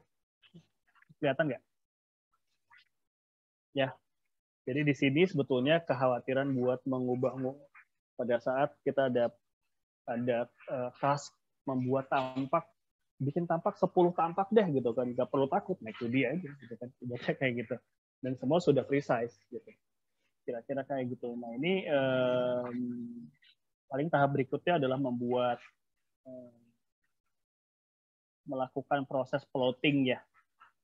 Di sini bisa uh, pakai perintah print ya uh, ingat kita bisa lakukan scaling selama unitnya benar sangat mudah untuk lakukan semuanya. Misalkan satu banding 200 gitu kan? Uh, lalu kita akan letakkan di mana ini satu banding 200 kalau tidak salah satu banding 200 kalau tidak salah uh, kertas saya ini A4 ya kan? A4 ya. Jadi udah terskala satu 200 ya bisa dipindahkan menjadi nanti bisa diekspor ke Illustrator gitu kan dan sebagainya. Seperti yang tadi Pak Evert uh, sampaikan gitu ya bahwa di era sekarang uh, justru pemahaman tentang interoperability antara software jauh lebih penting gitu kan. Karena gini setiap software punya keunggulan masing-masing gitu kan um, dan keunggulannya tersebut kadang-kadang tidak bisa disubstitusi. Jadi ya udah kalau misalnya tidak bisa disubstitusi ya ber, kita harus paham perpindahan perpindahan ekstensinya aja antar jadi kita harus paham mana yang hilang-hilang datanya mana yang harus kita uh, sustain uh, yang harus kita apa namanya jaga gitu ya sehingga comply dengan kebutuhan kita gitu ya. Ini ini sebagai contoh kalau kebutuhan untuk ilustrasi ya ini bisa bisa pindahin ke PDF bisa jadiin AI dan sebagainya. Skala bisa kita kita atur gitu kan. Dan ini yang paling menakutkan gitu kan. Bahkan di dunia kerja pun masih ada aja yang naruh, naruh skala yang salah gitu ya. Gitu. Karena mainnya di scaling scaling doang gitu kan. Ada ada juga gitu. Jadi eh, ini ibaratnya kita eh, jaga dari hulu ke hilir sehingga data-datanya menjadi eh, baik misalkan ya. Eh, ini saya sebagai, saya ambil sebagai contoh saja. Ini tidak yang tadi terskala yang ini tidak terskala ya. Lalu um, kita kita coba print.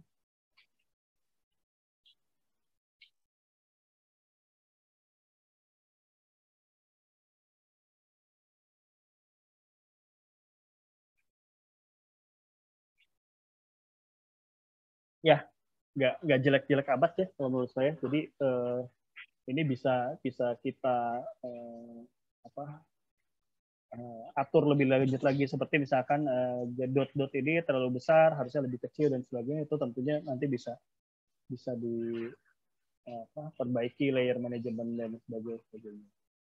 Kira-kira seperti itu um, untuk latihan yang lebih advance-nya saya sudah sediakan untuk Bapak dan Ibu dan rekan-rekan sekalian satu file GH yang berada di poin 002 dan 003 ya di sini. Jadi silahkan dibuka saja. Um, ya ini, ini lanjutannya gitu ya. Ini masih kosongannya. Gitu nanti saya saya share ke Bapak yang kira-kira sudah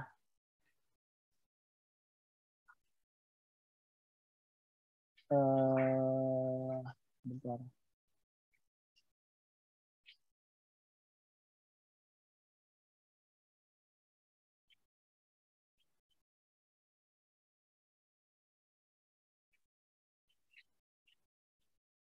yang sudah lengkapnya gitu ya. Jadi tinggal masukkan uh, sebuah surface. Saya sudah sediakan satu file di sini, saya nanti akan share. Uh, surface, we have surface.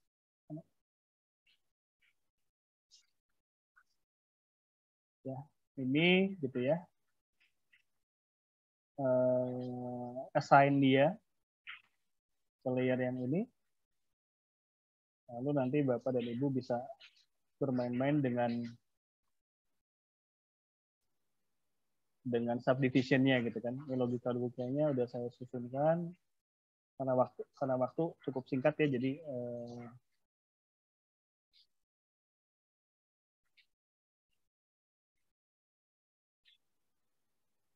jadi eh, silakan untuk eh, apa namanya eh, di, di dicoba-coba karena um, cukup menarik ya ini bisa dipelajari di mana pun, source-nya banyak sekarang. Kalau misalkan objeknya kita ubah gitu kan, secara otomatis nanti uh, si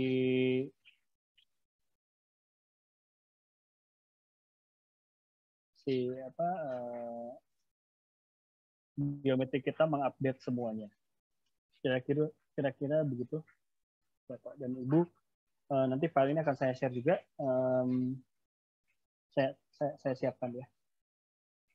Semoga uh, bisa memberikan gambaran uh, rekaman dari ini nanti bisa diminta kepada organizer, jadi Bapak dan Ibu bisa uh, dengan mudah mereview kembali, mencoba-coba kembali uh, setiap uh, step yang sudah diajarkan. Gitu. Tentunya hanya untuk mengingatkan, tentunya uh, perlu perlu apabila ingin mendalami ini perlu disiapkan learning uh, Bapak mesti menyiapkan learning curve-nya gitu kan dalam time timeline-nya Bapak dan Ibu karena uh, membutuhkan waktu yang yang yang yang uh, yang didedikasikan gitu untuk belajar hal-hal seperti ini. Paling-paling uh, itu dulu ya, Bu Nila. Mungkin kalau misalkan ada pertanyaan lebih lanjut bisa kita bahas secara